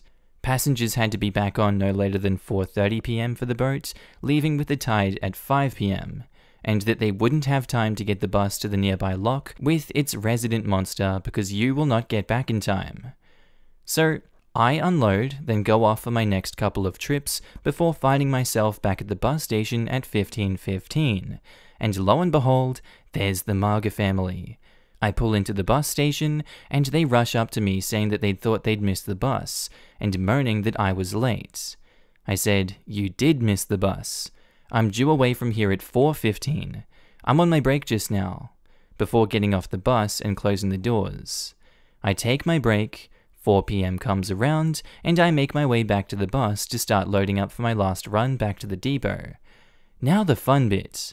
When MAGA family got on the bus the first time, I was the express. Going back, I was the same number, but not the express, so the trip went through nine towns and villages rather than the three the express visited. Entitled Dad says, About time, we have a boat to catch.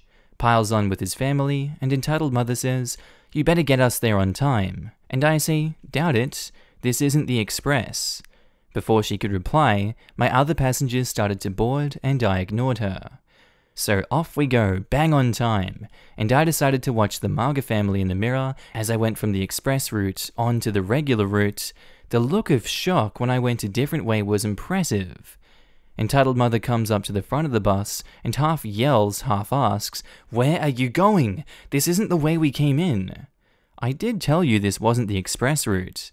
That's why the inspector told you to get on the 3pm bus back. Well, when do you get to place where the boat is? About 5.15 if I'm on time. Off she goes in a huff to her seat. The rest of the trip was uneventful, other than spending 10 minutes trying to explain to the local drunk that he wanted the other bus to get home. He's harmless, really. So I didn't get to the boat till 5.25 pm. MAGA family runs off, only to see there's no boat. And he says, Where's the boat gone? I say, See the oil rig in the Firth? Look slightly to the right. The boat was clearly in view halfway along the Firth. He said, How could you let us miss the boat? Nothing to do with me. You were told what time you had to be back for. You could have got a taxi, but you waited till I was leaving. Well, what are you going to do about it? Nothing. Not my problem. My job is to carry passengers from point A to point B safely, which I have done. Why didn't you phone the boat when you were going to be late? Uh, I don't like your attitude. Now fix your mistake. Not my mistake, your mistake. There's a taxi office at the bottom of the street. Where's your next port? An entitled mother says, Southampton. To make it clear for non Brits, Southampton is on the south coast of the UK. I'm a good 700 miles north. Well, you better get going because that won't be cheap to get you there. Why won't you help? It's your job. The customer is always right. Well, if you won't help, then I'm going to call the police. The entitled dad says this before sitting on the floor beside the doors so I couldn't shut them. And I say, On you go. Don't see what that will do. Before apologizing to the only other passenger on board. Luckily, the police station is in the previous town, and the police were there in 10 minutes. They listened to whatever entitled dad was saying after they moved him off the bus before telling him the same thing. It was his fault he missed the bus, his fault he missed the boat, and his problem as to how he was getting his family to the next port. Cue a screech from Entitled Mother and Entitled Kid, followed by Entitled Kid, who was about 15, running onto the bus to try and punch me before being grabbed by the other policeman. At this point, I was nearly 30 minutes late and wanting the bottles of cider in my fridge, so I asked if I could leave and headed off. Found out later from my neighbor, whose wife is a copper, that the family ended up getting a taxi to Southampton. Sorry it's a bit long. Stay safe, everyone, and hopefully the second wave won't hit. A taxi from Scotland to Southampton? That must have cost hundreds. Plus, I bet the driver charged for the return journey. About 20 years ago, I got a taxi from Hamilton to then my hometown of Lanark. That was £40 for a relatively short journey. 15 years later, I got a pre booked taxi from my hometown to Glasgow. It cost, I think, £65. I wonder if Jim's bus depot to Southampton would be nearer £1,000? After 5pm on a Sunday, lol, be cheaper to get a plane ticket home, lol. Taxi to airport, flight to London, taxi from London to Southampton would be quicker, probably cheaper too. Posted by user the123king Reddit, titled, I couldn't get the files off your laptop, but I might get something else. It's a normal lockdown Friday morning. I'm sat in the office, testing a new Windows build on our laptops, slurping coffee, and killing the time reading TFTS whilst I watch some progress bars move. Diddling goes Outlook as a new ticket comes in. God, I thought I turned those speakers down. Half deaf, I open up my emails and see who needs their projectors plugged in today. No, I'm wrong. Laptop deleted my profile and all my documents are gone. Crap. So I tell the user to power off his laptop, not to use it, as the less a machine is used, the more likely it is to recover data. I stress the importance of not using it until it's in the office and to drop it in on Monday morning. Monday comes around. I get handed the laptop, and the poor guy holding it doesn't look well, like he's got hay fever or something. Not surprising given it's summer here and no one's been cutting grass for a while. I shrug it off, take the laptop in, and start data recovery. So the laptop plods along, generally not finding anything readable, just a bunch of garbled documents. There's really not much here to recover. I wasn't expecting to find much, and I warned the user that in the first place, chances are slim, but I will try. At the end of the day, I informed the user that I didn't find much that was readable, but stuck it all in a zip file and sent it anyway. He says he'll be in tomorrow to pick it up. It's Tuesday, and our lovely Lost His Work user opens the door, and he still looks like he's been rubbing his face in a bag full of pollen. I reiterate my lack of success. I tell him it's probably best to back up work to USB sticks when away from the office and not to trust the laptops, as this can happen when laptops run out of power outside the network. It's not usually a problem because 99% of staff only use their laptops in the office anyway, though lockdown has done a number on that. Anyway, I ask him if he's got hay fever or something, and he says, No, he replies. Do you know anyone else who looks this ill? Nope, just thought it was hay fever. Well, you know someone now. This is COVID. I've been self isolating for four weeks. First time I've been out was to drop this in. Fah, suffice to say, I have sanitized everything in the office I could. For damn's sake, Notify your supervisor that some frickwad walked into the office sick with COVID 19 and no mask on. That's probably a breach of company policies too, given how many companies quickly wrote up policies on COVID 19 quarantine and sick leave. That guy's manager needs to lay down the law on him and other staff about procedures if they need tech support while sick. Also, if anyone shows up looking sick, I wouldn't trust that they say it's just allergies or such. Too many people got COVID 19 from someone that just had a chronic cough or asymptomatic altogether.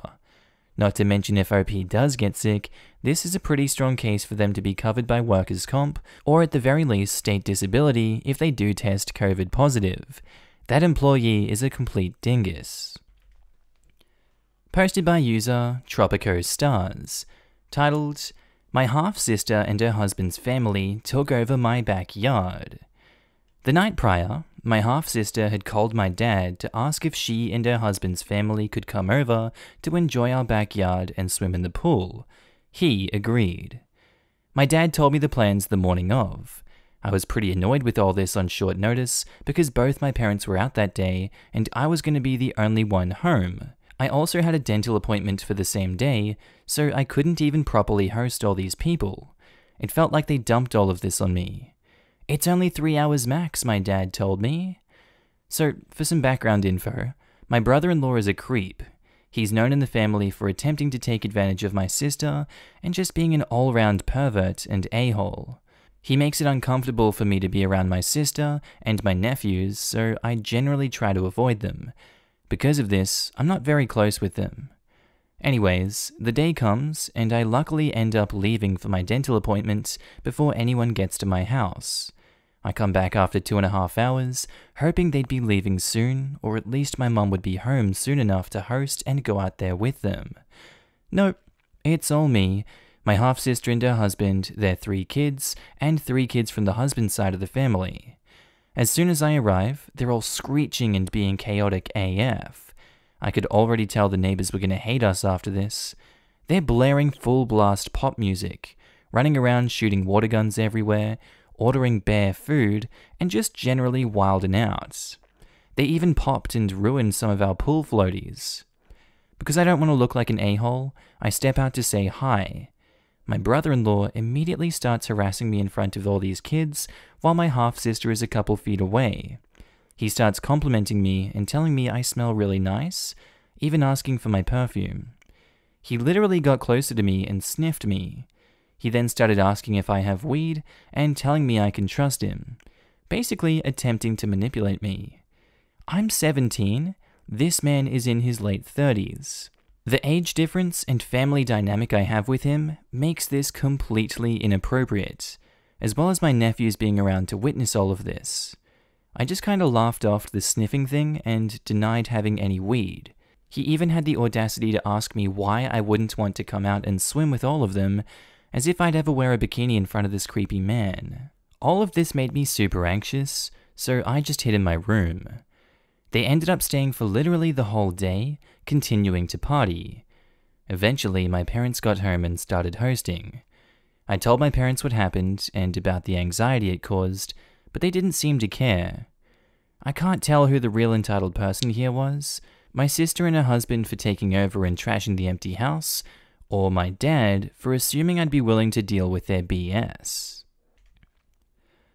Posted by user Leon Olmsley, titled Bridesmaid wants to be the center of attention at reception, gets it in the worst way possible. So, back in the before times of January 2020, when you could go to parties, I was invited as a plus one to a wedding. The guest, my friend Jen, not her real name, had asked if I wanted to go with her to her cousin's wedding. Her cousin is the bridesmaid. She's a great person, but not very comfortable in big crowds. I was told that this was a 250 person wedding and she needs the support. I had nothing planned for that day, plus it was free food and cake, plus Jen is my friend, so I agreed. The wedding went great in my opinion, as well as any wedding can be when you don't know the bride or groom. The officiant went through their speech, bride and groom exchanged rings, families cried, and the two were married. Happy times, ceremony finishes without a hitch. So it's the reception where things got messy. The reception was held in this park lodge overlooking a frozen lake. Dinner was served, and Jen and I made conversation with people at our table. Then comes the clinking of glasses. The wedding party are going to make their speeches, and since there's like 250 people at this place, there's a microphone so that everyone can hear. The groom's men and bridesmaids make speeches on how they know the groom and bride respectively until it comes to one of the bridesmaids. I call her Kaylee simply because her real name is like Kaylee in that her parents gave her an uncommon spelling of a common name, one that a Starbucks barista would unintentionally misspell and get yelled at for misspelling. If memory serves me, she was one of the bridesmaids' friends from college who, because of her closeness, stands on the outskirts of Bride's family. An honorary family member, if you will. Kaylee's speech is more of the same how she knows the bride, and how she's so happy for her and groom marrying, and how lovely of a couple they make. So far, so good. Here's how it ends, or at least how I remember it. Kaylee says, I am so happy for the two of them, and because we're here celebrating love, I wanted to let everyone know something great.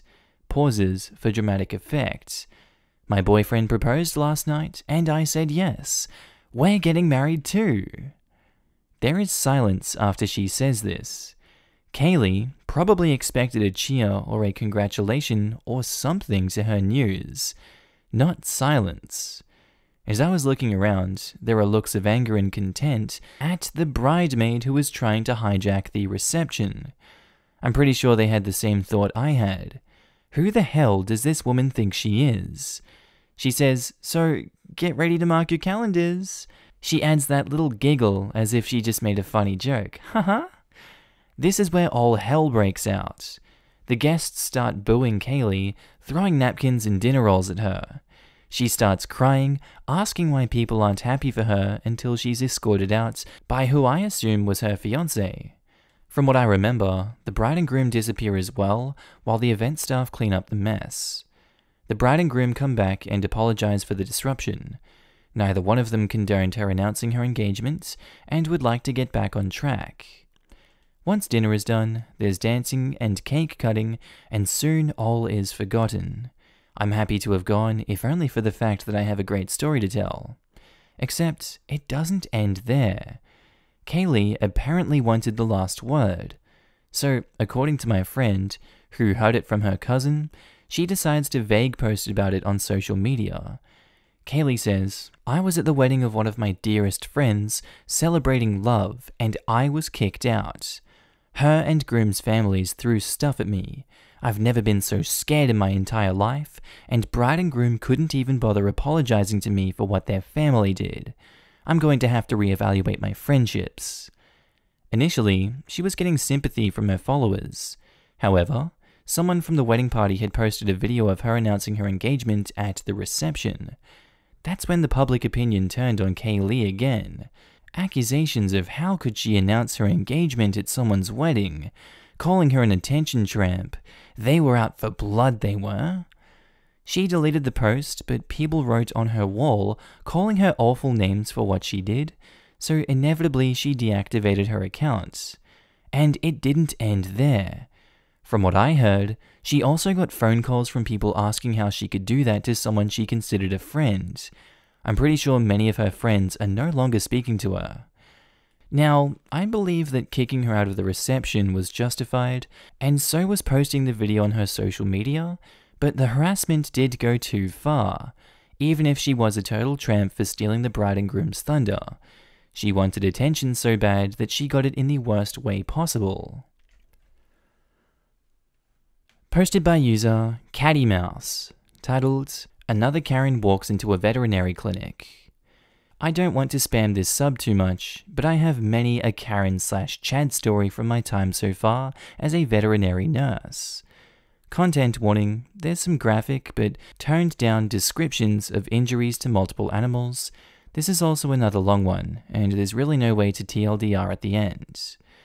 This particular event happened maybe a week after I finished my bachelor's degree some years ago, but it has lingered with me.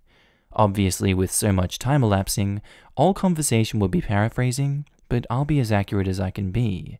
Buckle up, buckaroos. A woman calls the clinic, sounding very calm, and the receptionist taking the call hands me the phone so I can triage and establish urgency and get things ready.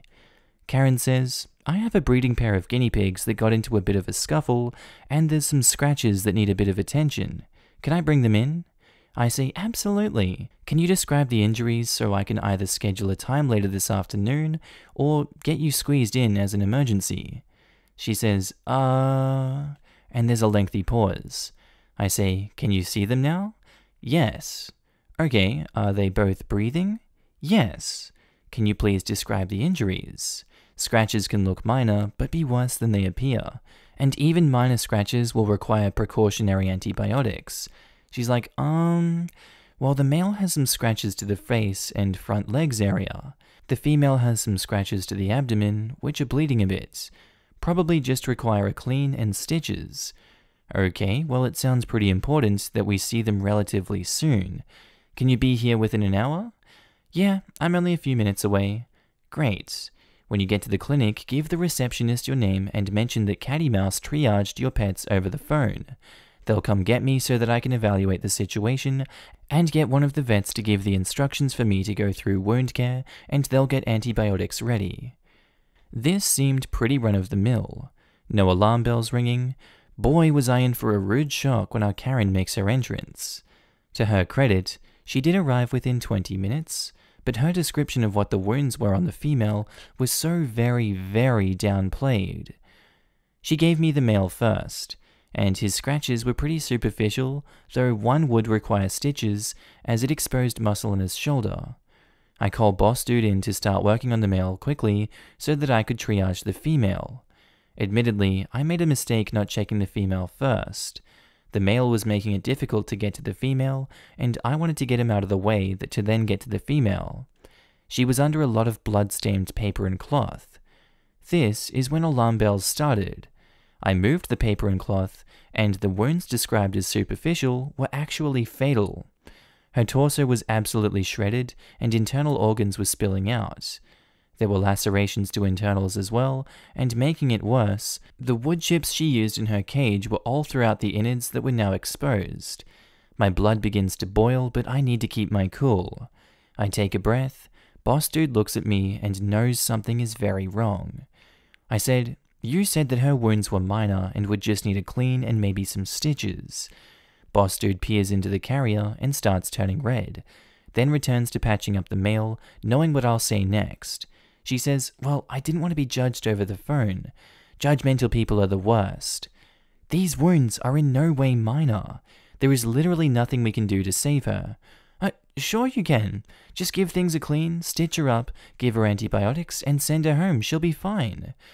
No, that's not how it's going to work. She's got irreparable damage and has lost an enormous amount of blood. We don't have guinea pig blood transfusions on hand, even if we were able to fix her extremely bloody serious injuries. I'm sorry, but this will need to be a euthanasia case. No, no, she needs to be patched up so I can get her breeding again.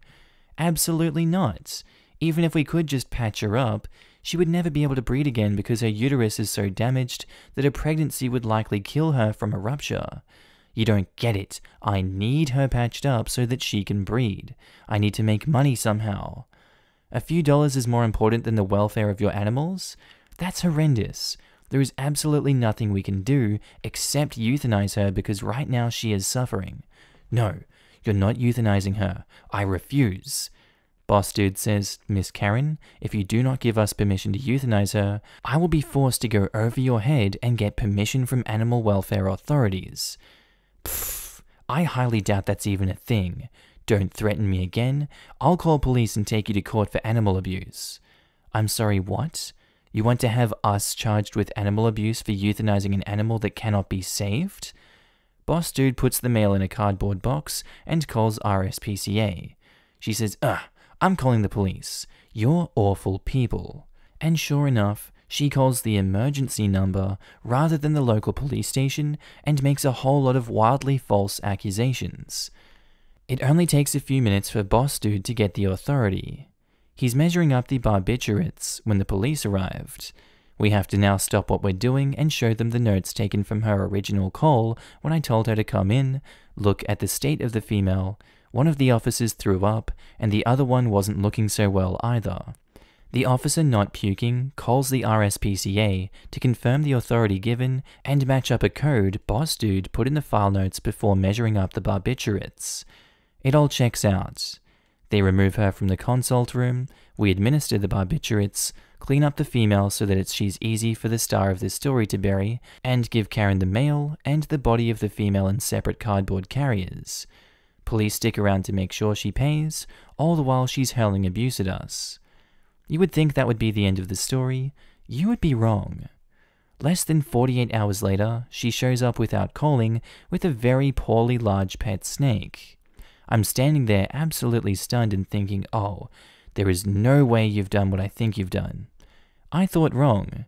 This absolute monstrosity of a human thought it would be a brilliant idea to feed the barbiturate filled deceased female guinea pig to her snake because, in her words, it was easier than waiting for a rabbit to thaw and the smell of blood would appeal to the snake. He can be a picky eater. This snake was digesting a guinea pig full of barbiturates. She fed what is essentially death potion to a damn snake. We check the vitals and do some imaging to see if there's any chance we can save this snake. And one of the other nursing staff contacts RSPCA, knowing that all hell is about to break loose. Once again, there is nothing we can do. Once again, we have to euthanize one of her animals because of her stupidity. Once again, she refuses to give the permission to euthanize. Once again, she calls the police on the emergency number, once again, we receive the authority from RSPCA to euthanize. Once again, we need to delay when the police arrive. It's the same police attending. They check the notes and authority, give us the go ahead, drag her into the reception area as she once again hurls abuse and refuses to pay. One of the officers contacts the RSPCA to see if there's any reason to arrest her for animal abuse, and there is. There is a long pattern of her showing up to clinics with animals in horrendous states, almost always requiring euthanasia. she left the clinic in cuffs. A few months later, we were summoned to give testimony in court. The only good thing about this fiasco is that she had the proverbial book thrown at her, as this was not even her first time in court for animal neglect and abuse. She received a few months' custodial sentence, fined a significant amount which would be donated to an animal rescue organization, and had a legal ban on owning animals, which meant all her animals were seized and the healthy few were rehomed. Majority were not able to be saved. And to this day, RSPCA do random checks to make sure she has no animals. If you stuck with me for this roller coaster, thank you. I have many more stories like this, so let me know if you want me to post some more of the standouts. And I'm just here disgusted that they did this in Australia because the RSPCA is in Australia. And I know that uh, illegal breeding is so far and wide back home, but dear Lord, that makes me so sad. Why do they continually do that? That's so disheartening. We have a comment from Camera Dude that says, A complete sociopath. I doubt she saw her animals as anything more than just moneymakers that require food. The fact she thought a guinea pig that was virtually gutted would be fine with just a shot and some stitches is appalling. We can only be grateful that sometimes the justice system works and she was banned from owning any more animals. You're right in the money. My husband has a PhD in psych, and he said she's a textbook sociopath. When what works out to literally on a few dollars of profit from a litter is more important than having a healthy breeding female, I just. I see red. It takes everything in me not to lose my cool. As a student, I did a lot of rescues from breeders like her, so my hatred runs deep. It's not just professional, it is personal on the deepest, most visceral level. In a reply to an earlier comment, I mentioned that it's been about five years since this incident, and it still shows up vividly in dreams fairly regularly. One does not easily forget that sight. I obviously turned it down for Reddit because I generally try not to emotionally scar people too much. It almost made me reconsider my career. I took my annual leave to reflect on what I wanted and applied for a position at a university to better my qualifications with a master's degree instead of turning away. Even on the awful days like that one, I know vet nursing is where I'm meant to be. You have no idea how good it was for my boss and I when we heard the book was being thrown at her. There's so many cases where people get a slap on the wrist, essentially getting away with their ill treatment of animals. We weren't expecting much, so that sentencing verdict was music to our ears and warmed our hearts. We're paying them to work, don't give them warm drinks unless they're going to reduce the fee. Another day, another entitled Karen. This is literally happening as I type. So, for those who haven't seen my recent posts, I'm a veterinary nurse living near the Alps in southeast Australia. It's winter, it's cold, and it's calving season. Myself and Boss Dude have been called out to a farm to assist with a bovine birth. It's the cow's first labour, so the farmer wanted us nearby just in case. It's just after 4am and we've been here since 11pm. It's also negative 5 degrees Celsius, 23 degrees Fahrenheit for the Fahrenheit fam. I have thermals on under my scrubs and several other layers, but I'm still very cold. Adding to my situation, I'm also in the second trimester of pregnancy, so prolonged cold really isn't something I want to be. The farmer is one of our regulars and he's lovely. When I started shivering, he went inside and grabbed some blankets for me to wrap myself up in while we sit and monitor this labor. A few minutes later, his phone rings, and it's his wife yelling at him. He rolls his eyes and says, It's freezing out here. The VN is pregnant and it's just a blanket. And hangs up. A little while later, he asks Boss Dude and I if we'd like a warm drink to keep us going, returns to the house and comes out with a thermos for both of us. Coffee is exactly what I needed, for the warmth and for the caffeine to keep my mind alert during these awful hours. Farmer's wife comes outside and starts screaming at the farmer, then comes down to us and demands that we either give her the warm drinks we've already started drinking, or that she will expect a fee reduction for using their resources while on the job. There's a pandemic, so what is she gonna do if we give back the drinks that have been exposed to our saliva? Sure, Karen, we'll keep the coffees and take off the 70 cents it costs to make two thermoses of coffee, you're still paying for our time after hours on site. And now she's demanding a further discount to cover the cost of washing the blankets, which have some hay on them. Or, Maybe we should just go home and not ensure the welfare of your cow and her calf. We've still got a few more hours here. Wonder how many more cents she'll demand gets knocked off our fee. Because her husband has the audacity to be kind enough to make us comfortable while we wait in literal freezing conditions. Some people. Posted by user Ali Hope, titled, My Mum is Stealing Money from Me. I am 22 female. I'm currently no contact with everyone on my dad's side. They stopped talking to me when I was 12 after my dad lost a custody battle. Recently, my grandfather reconnected with my sister after she reached out to him. He wants a relationship with me, but I was against it after years of dealing with abandonment issues. About a year ago, he wanted to make amends. My mum agreed to take $7,500 from him to be used to help me get a car. He felt bad and wanted to help out. I didn't want to take his money, but she took it on my behalf for me. I didn't want money from someone I didn't want a relationship with. It's been around a year, and my mum took this money and never used it for a car or anything. When I confronted her about it, she said that she's using the money for stuff like insurance, which I don't even have. She then said she used it for pet food for when I was working less hours. If I talk about the car aspect, she says about how I never wanted the money, and she says how there is an agreement that the money is used for my expenses. I don't trust her with the money, and she told me not much of that was left. My sister is now giving me her old car for $500. I asked my mum if she could give my sister the 500 and give me 7000 to invest in my future. She said I was not given the money because I can't be trusted with it. I mentioned I was planning on getting my first tattoo and a PC soon, and she said this is why I can't be trusted with money. I was going to put aside some for moving, a new PC, and a new car, because my sister's car is a 2004, so I think it would last two years at most. She said this is not what the money is for, so she refuses to let me have any and keeps saying how she will get the money that she had to use back. When I told her that I would reach out to my grandfather if she didn't either return the money or give it to me, she threatened to kick me out. Now she gets to keep the money that I never asked for, and I will never see a penny of it. I have no idea what to do about this, and it really bothers me. Posted by user Coffee Bean Scene, titled, I've been waiting three whole minutes. This service is ridiculous. So, as a lot of you people know, Pubs opened on the 4th of July in Britain, and due to the pandemic, they've all been closed for months, and can only open as long as we follow the government rules. Our pub used to run as most do, with customers entering, walking up to the bar, ordering, paying, and waiting for a drink, and then choosing where they want to sit.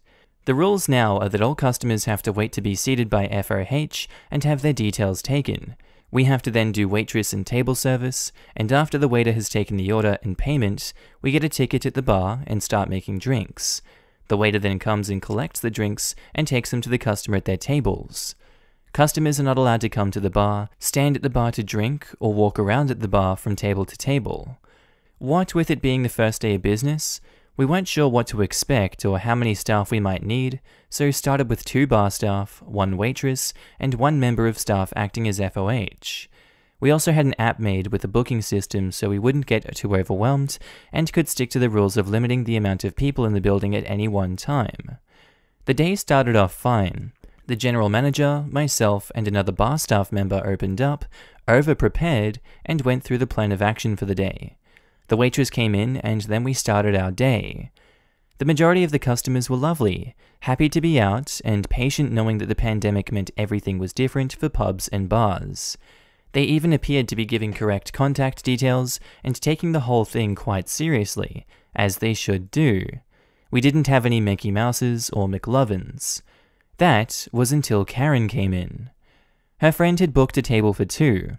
We had a booking deal, they paid £5 per person to ensure the table and then get a free drink. The selected drinks are usually more than £5. They spent a good 5 to 10 minutes choosing their first drinks. We made them, the waitress took them over, and everything was fine. However, me and the general manager had already made eyebrow moves at each other to indicate Karen alert. The waitress also noticed, explaining how Karen had been short with her when ordering, but gave Karen the benefit of the doubts, saying that she thought she might have been interrupting Karen and the woman's date. Roll on the second round. The bar was now getting busy, almost filling to capacity, and still with just me and another worker on the bar. We were mixing drinks as fast as we could, but anyone who makes cocktails knows you can only go as fast as you can shake Boston. As soon as one ticket was being completed, another four were printed. The GM has also started taking orders as the waitress was getting a bit overwhelmed, but that just meant that double the orders were coming in for us. Karen ordered a bottle of wine. Okay, cool. So I find the correct wine, get the waitress to check it's the correct wine with Karen, and then uncork it. The waitress comes back to the bar, Karen's changed her mind, doesn't want this wine at all, decides to get a glass of something else instead. Fine. A few minutes later, General Manager comes over stressing, Where's her order? She says she's been waiting an extortionate amount of time. Starts to berate me a bit because I, as a manager, should be faster and should be keeping an eye out on tickets and my staff, etc., etc. I asked the General Manager what the order was. Karen had ordered two complicated cocktails. Okay, fine. We are a little backed up. I look through my tickets and speak to my colleague. We haven't made it yet. I look at the ticket machine with the three tickets that had not long printed. Her order was there. She had placed the order literally three minutes before complaining. I showed my manager and also showed her the two tickets I needed to make before Karen's. My general manager smiled and apologized. I knew she was just stressed and told her it was fine and I'd get the Karen's ticket when I got to it, in order. My general manager asked to try and make it fast, as Karen was now loudly complaining to anyone that would listen. Which was basically no one, as everyone was just trying to have a good time and can see that we are slammed. Karen waited a full 8 to 9 minutes for her two cocktails to be made. Two different ones, both with quite a few ingredients, when we were at full capacity. She still moaned about the wait when she left as she had other important things to do, said the service was bad and she was in a rush, and why didn't we understand that the customer in a rush should be served first? Like I give a crap. Don't drink fancy cocktails before you do stuff if it's so important.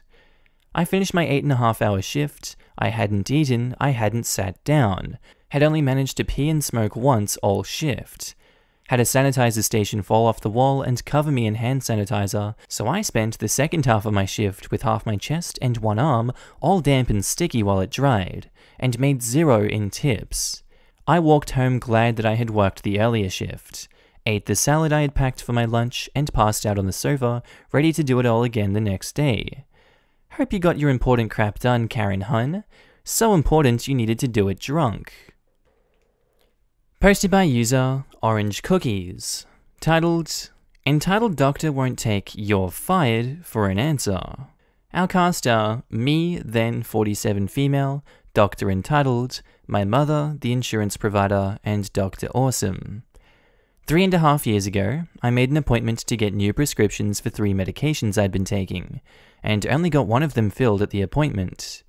Dr. Entitled took my blood pressure and weights and wrote one of the prescriptions that I needed for blood pressure medication.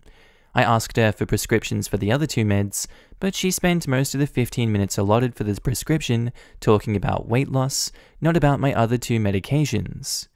Now, while I understood I needed to lose a few pounds, I couldn't be as physically active as I'd liked because of knee pain, and a 15 minute medication appointment was not the appropriate time for a weight loss discussion.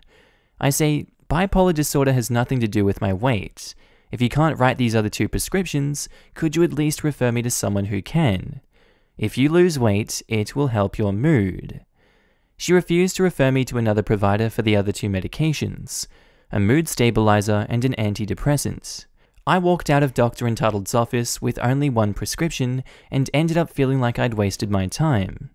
Travel time to the clinic plus time in the waiting room plus time in the doctor's office plus time in the pharmacy equals three hours spent to get only one prescription filled. I ended up going to a walk in clinic at the county hospital to get the other two meds. The next day, I called Dr. Entitled's office to let her know I was firing her, and my insurance provider to explain the reason for my self referral to the county hospital. Insurance provider says, We are very sorry this happened.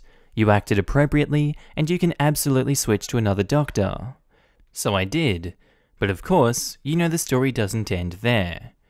A couple days after I fired Dr. Entitled, I got a text from mum saying, Your doctor, Dr. Entitled, called. She wants you to come back in and see her. Um, how about no? I was livid, and frankly, creeped out that Dr. Entitled had called my mother. Mum was my emergency contact, but Dr. Entitled getting angry over being fired was not an emergency. I got phone calls and emails from Dr. Entitled's office for months telling me to come back in for a visit. Each time, I would reply that I'd fired her and changed doctors. It took the threat of an anti harassment order to get her to leave me alone. Meanwhile, I saw Dr. Awesome. After my very first visit with Dr. Awesome, I had referrals for knee x rays and physical therapy, for what turned out to be severe osteoarthritis. Posted by user Chitos Issei, titled, An entitled mother wants to force me to marry her son and disrespects me. She ends up scared. Good morning to all. I'll explain my first direct encounter with an entitled mother. I'd seen entitled people before, but I'd never faced a person until this case. The story takes place more or less a week before confinement in Spain, March 9th, a few weeks before I turned 21. It's transcribed from a WhatsApp audio that I sent to an acquaintance who knows about my relationship. I don't consider myself a very pretty girl. In fact, quite normal, but yes, striking for my style. It's like a combination between goth and when Edward Scissorhands put on a shirt with pants and suspenders. Only with long hair, around 70 centimeters, measuring 169. Green eyes with dark circles, a murderous glance, and a Slavic face, although not a model. That day, I went out with my partner to have a drink in some bar. We don't usually do it because of the age difference and because it would look bad in his work. He's in high school, and in my case, when I was a student, baccalaureate teacher. He's a good teacher, and many students love him, while he has co workers who hate him and would take advantage of any excuse. We sat for half an hour on the terrace of an almost empty cafe drinking coffee, and at some point a man came towards us.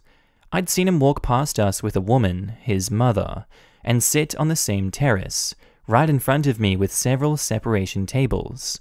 He stood in front of us, looking at us. I looked at my partner, thinking that maybe he was a graduate student of his. I couldn't say if he was older than me, he was tall and big. He even had a short beard, but I've met guys like him who seem to be 25, but are actually 16 years old. P is partner, MS is man, son of entitled mother, EM is entitled mother. My partner says, Is something wrong, boy? The man says, after waking up from a kind of trance, Oh, Hi, I would like to take advantage of the opportunity and ask your daughter to go out. He looks at me, and I put my, if you come close to me, you'll be left without an arm gaze. I would like to exchange numbers, and that maybe meet someday. I was a little surprised, but I was funny about asking your daughter out. I looked at my partner, and he gave me a look that I should answer, and besides, he was also laughing and needed to see how it went on. I say, um, no. What? Why? Me, trying not to frown, says, Because not? I don't need an explanation. But then he looked at my partner and muttered before going back to his table, Okay. I don't like that they came up to me, but if they're kind, it's bearable. And I can still say that the couple of balls you must have to ask a girl who goes with her father for that. The problem is when they start to insist or sound desperate. The man returned to his table, and my partner was joking a little bit about what had just happened, but soon we returned to the topic of conversation. Occasionally, I noticed something strange at the other table, and when I took a look, it seemed to me that the mother was looking towards us, but I thought it was just my imagination. About 15 minutes later, my partner came in to pay. I like to pay for myself, but he always insists, and I took the opportunity to quickly see my mobile's notifications. Then, I heard a kind of sigh growl. Next to the chair he occupied was that short woman, possibly over the age of 40, and incredibly similar to the Karen stereotype, with short blonde hair pulled back into a small ponytail. Why have you rejected my son? A bit confused, I look around for that boy, but he was nowhere to be found. Sorry? What did you say? Entitled Mother, in a tone of theatrical superiority, with its separations between words. Why? have you rejected my son? He has come very politely to ask you if you would be his girlfriend, and you have rejected him. Not really. He asked me to go out, and I said no. I don't even know who you are. Did you not understand? He has bothered going here to ask you if you would be his girlfriend. You could have a little respect for him. Well, I didn't hit him, I just rejected him. Right, sure. I have seen how you have been laughing at him. Surely it was your father who said to reject him. Actually, I don't know what conclusion they draw that my partner is my father.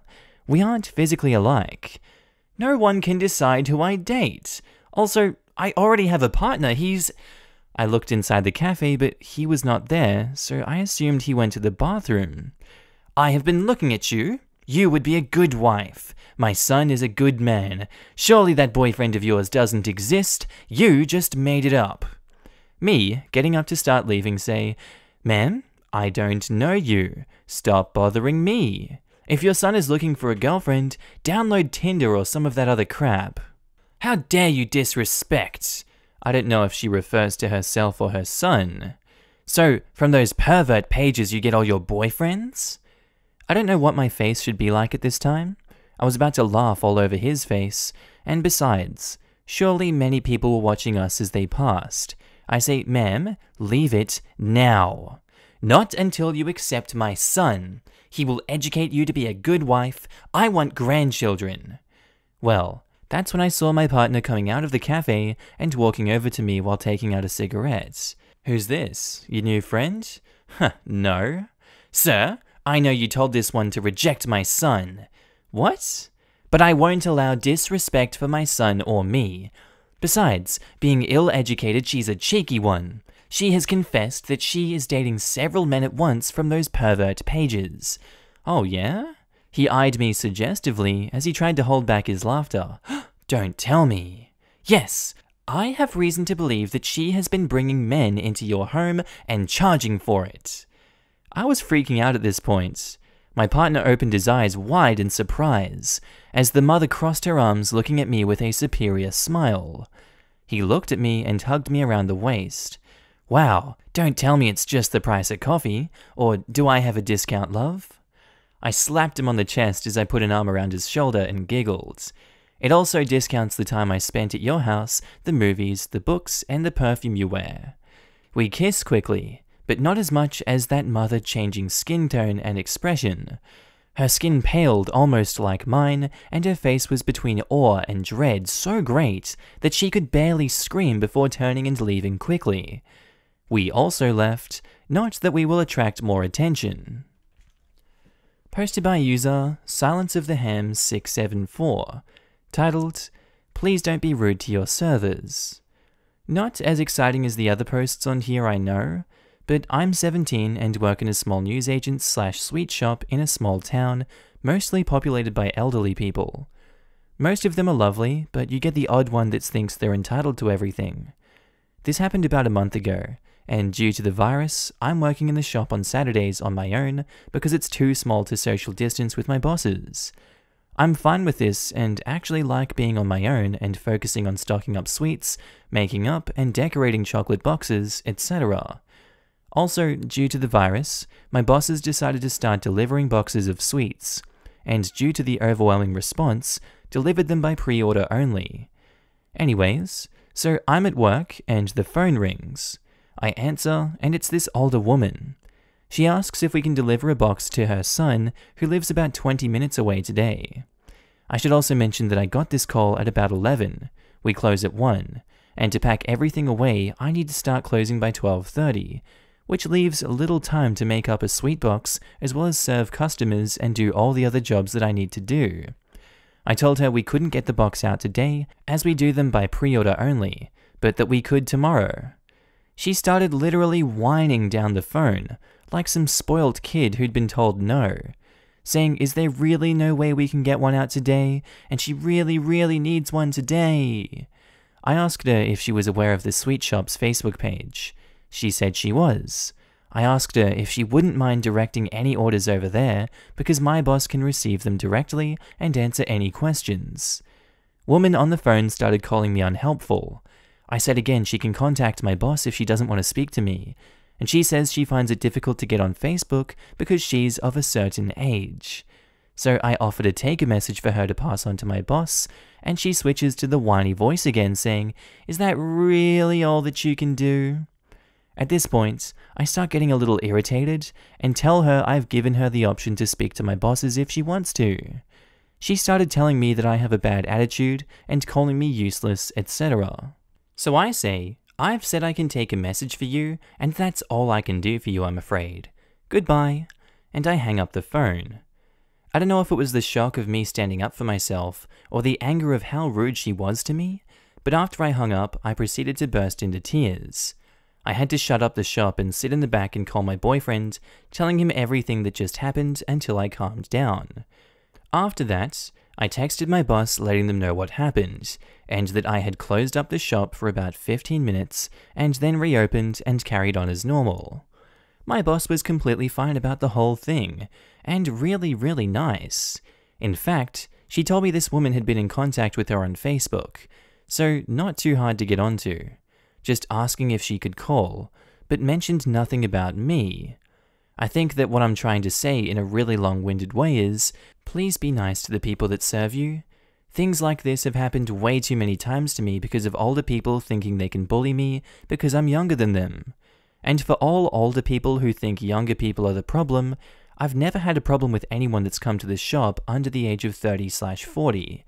It really costs nothing at all to be a nice person, and you don't know what the other person on the other side of the counter is going through. Please just be thoughtful with your words. Posted by user AFK2204, titled Hyper religious lady tries to rip my shirt off because I'm a brainwashed Satanist. First post here, English is not my first language, etc. So this happened last summer, but me and my friends still talk about it because it was hilarious. The cast are me, your friendly neighborhood metalhead, F1 and 2 are my friends, and EP is entitled Middle Aged Lady. The story goes as follows I was walking in a park with my friends, and it was hot, so we were all wearing shorts and t shirts. Now, being quite a metalhead, I was wearing one of my trusty band shirts, more specifically a Slipknot shirt. It has the band logo on the front, along with the image of what would seem like an angel with a cow skull for head, open arms, and a snake climbing on her. It's a beautiful shirt, one of my favorites. As I said, we were walking and talking, when we see a middle aged woman coming towards us, and the conversation was something like, Excuse me, you can't wear that here, there are children.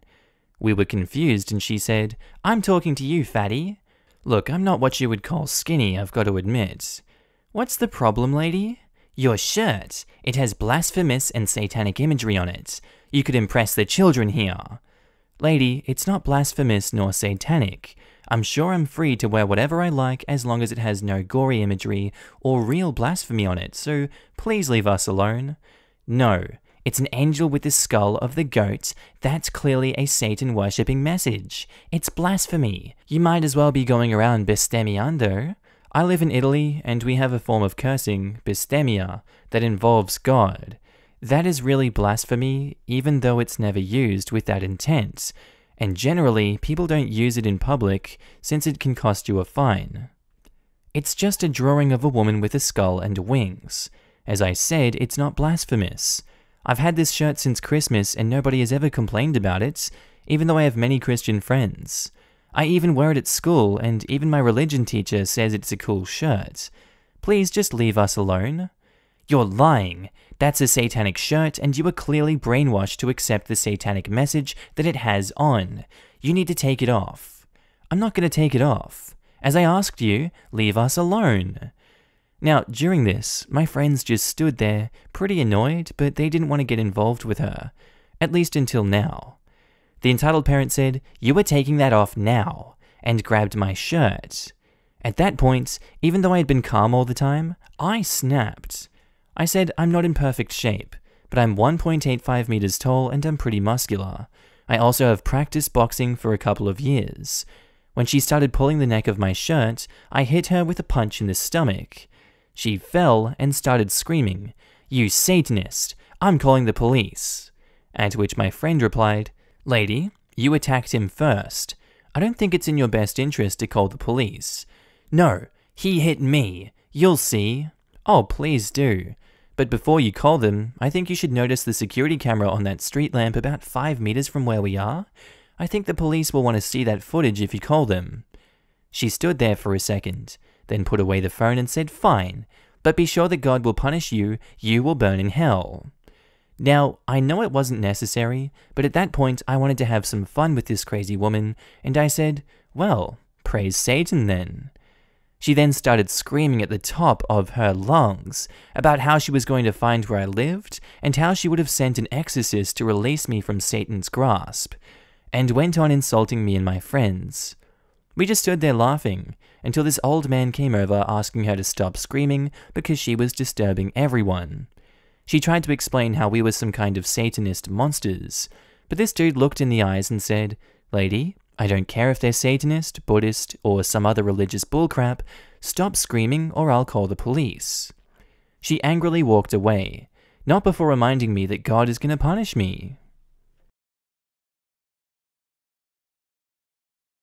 Alright, and I think that's where we're going to leave today's episode, guys. I really do hope you enjoyed the content today. If you guys loved watching it as much as I loved making it, I would love for you to subscribe to the channel already if you haven't. Tell me what you thought of it down in the comments below, maybe like the video, who knows. I'd also like to take this time to thank my awesome Patreon and channel members. Without you guys, uh, you know, I don't know what I'd do. I'd probably be homeless on the streets of Ireland, crying Irish dancing all over town. It would just be a mess.